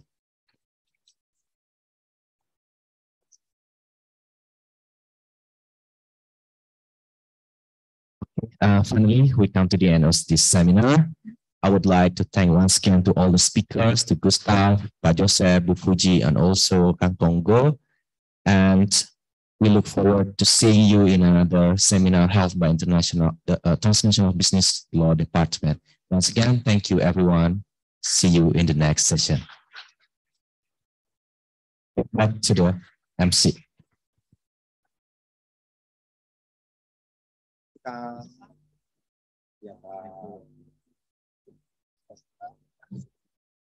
Karena foto-foto ini kami. Ya.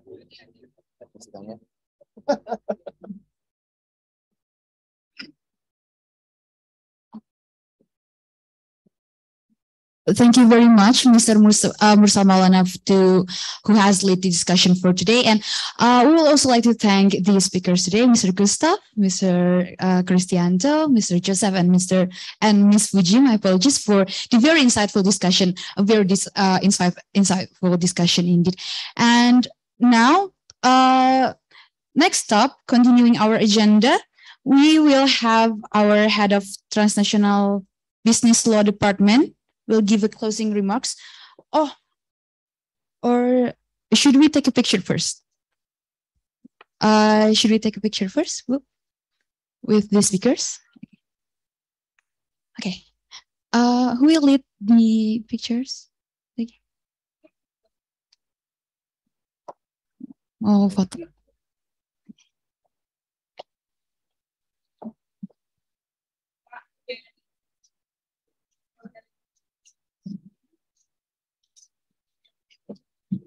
Ayo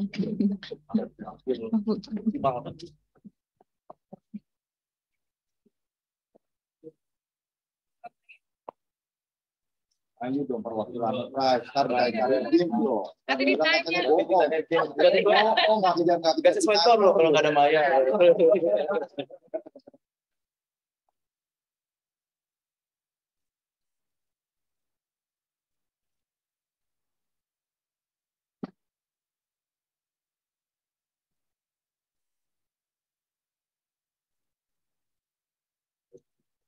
Can we uh, just move there and then we get the picture with all the the photographer to take from you?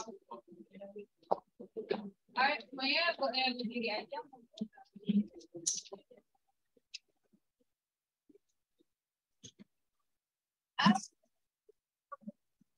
Aku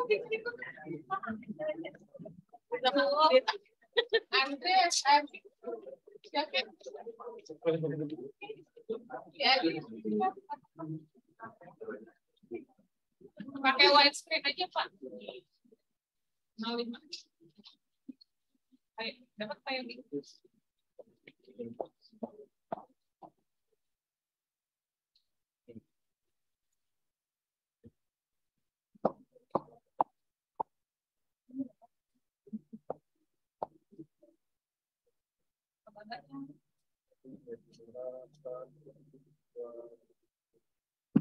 Lagi dan kamera satu dua tiga. Kayaknya. Cuan, cuan,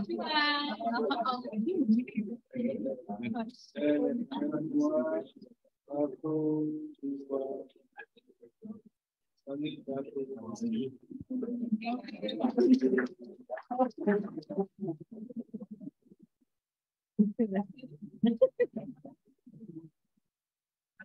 Oh gitu.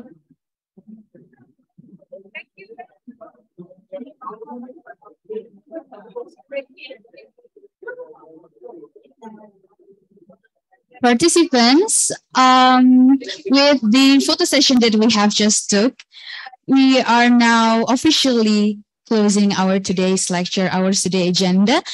And we have come, we would like to express our biggest gratitude and appreciation to all of our speakers for the time and the knowledge. And I hope we'll meet again in other circumstances, in other lectures. And to Mr. Wijayadi for making your time to be here with us, to our moderator, Mr. Mursal Maulana, and all participants for your time and excitement to participate in the today's event. Um, okay, and we are now also inviting all the participants to provide your personal feedback in this Arise Plus Indonesia event. Please do scan the barcode and then please uh, input your your feedback for our today's lecture to all the participants. And with that, lastly, on behalf of the host, we would like to apologize for the mistakes we have made throughout the event. And we sure do hope our today's discussion will bring a lot of insights uh, for us. And I, Azra, as your master of ceremony, once again would like to say thank you very much and we wish you to have a great day. Wassalamualaikum warahmatullahi wabarakatuh. Shalom, Om, Santi, Santi, Santi, Om, Namo Buddhaya, and thank you. May you have uh, a nice day. Thank you.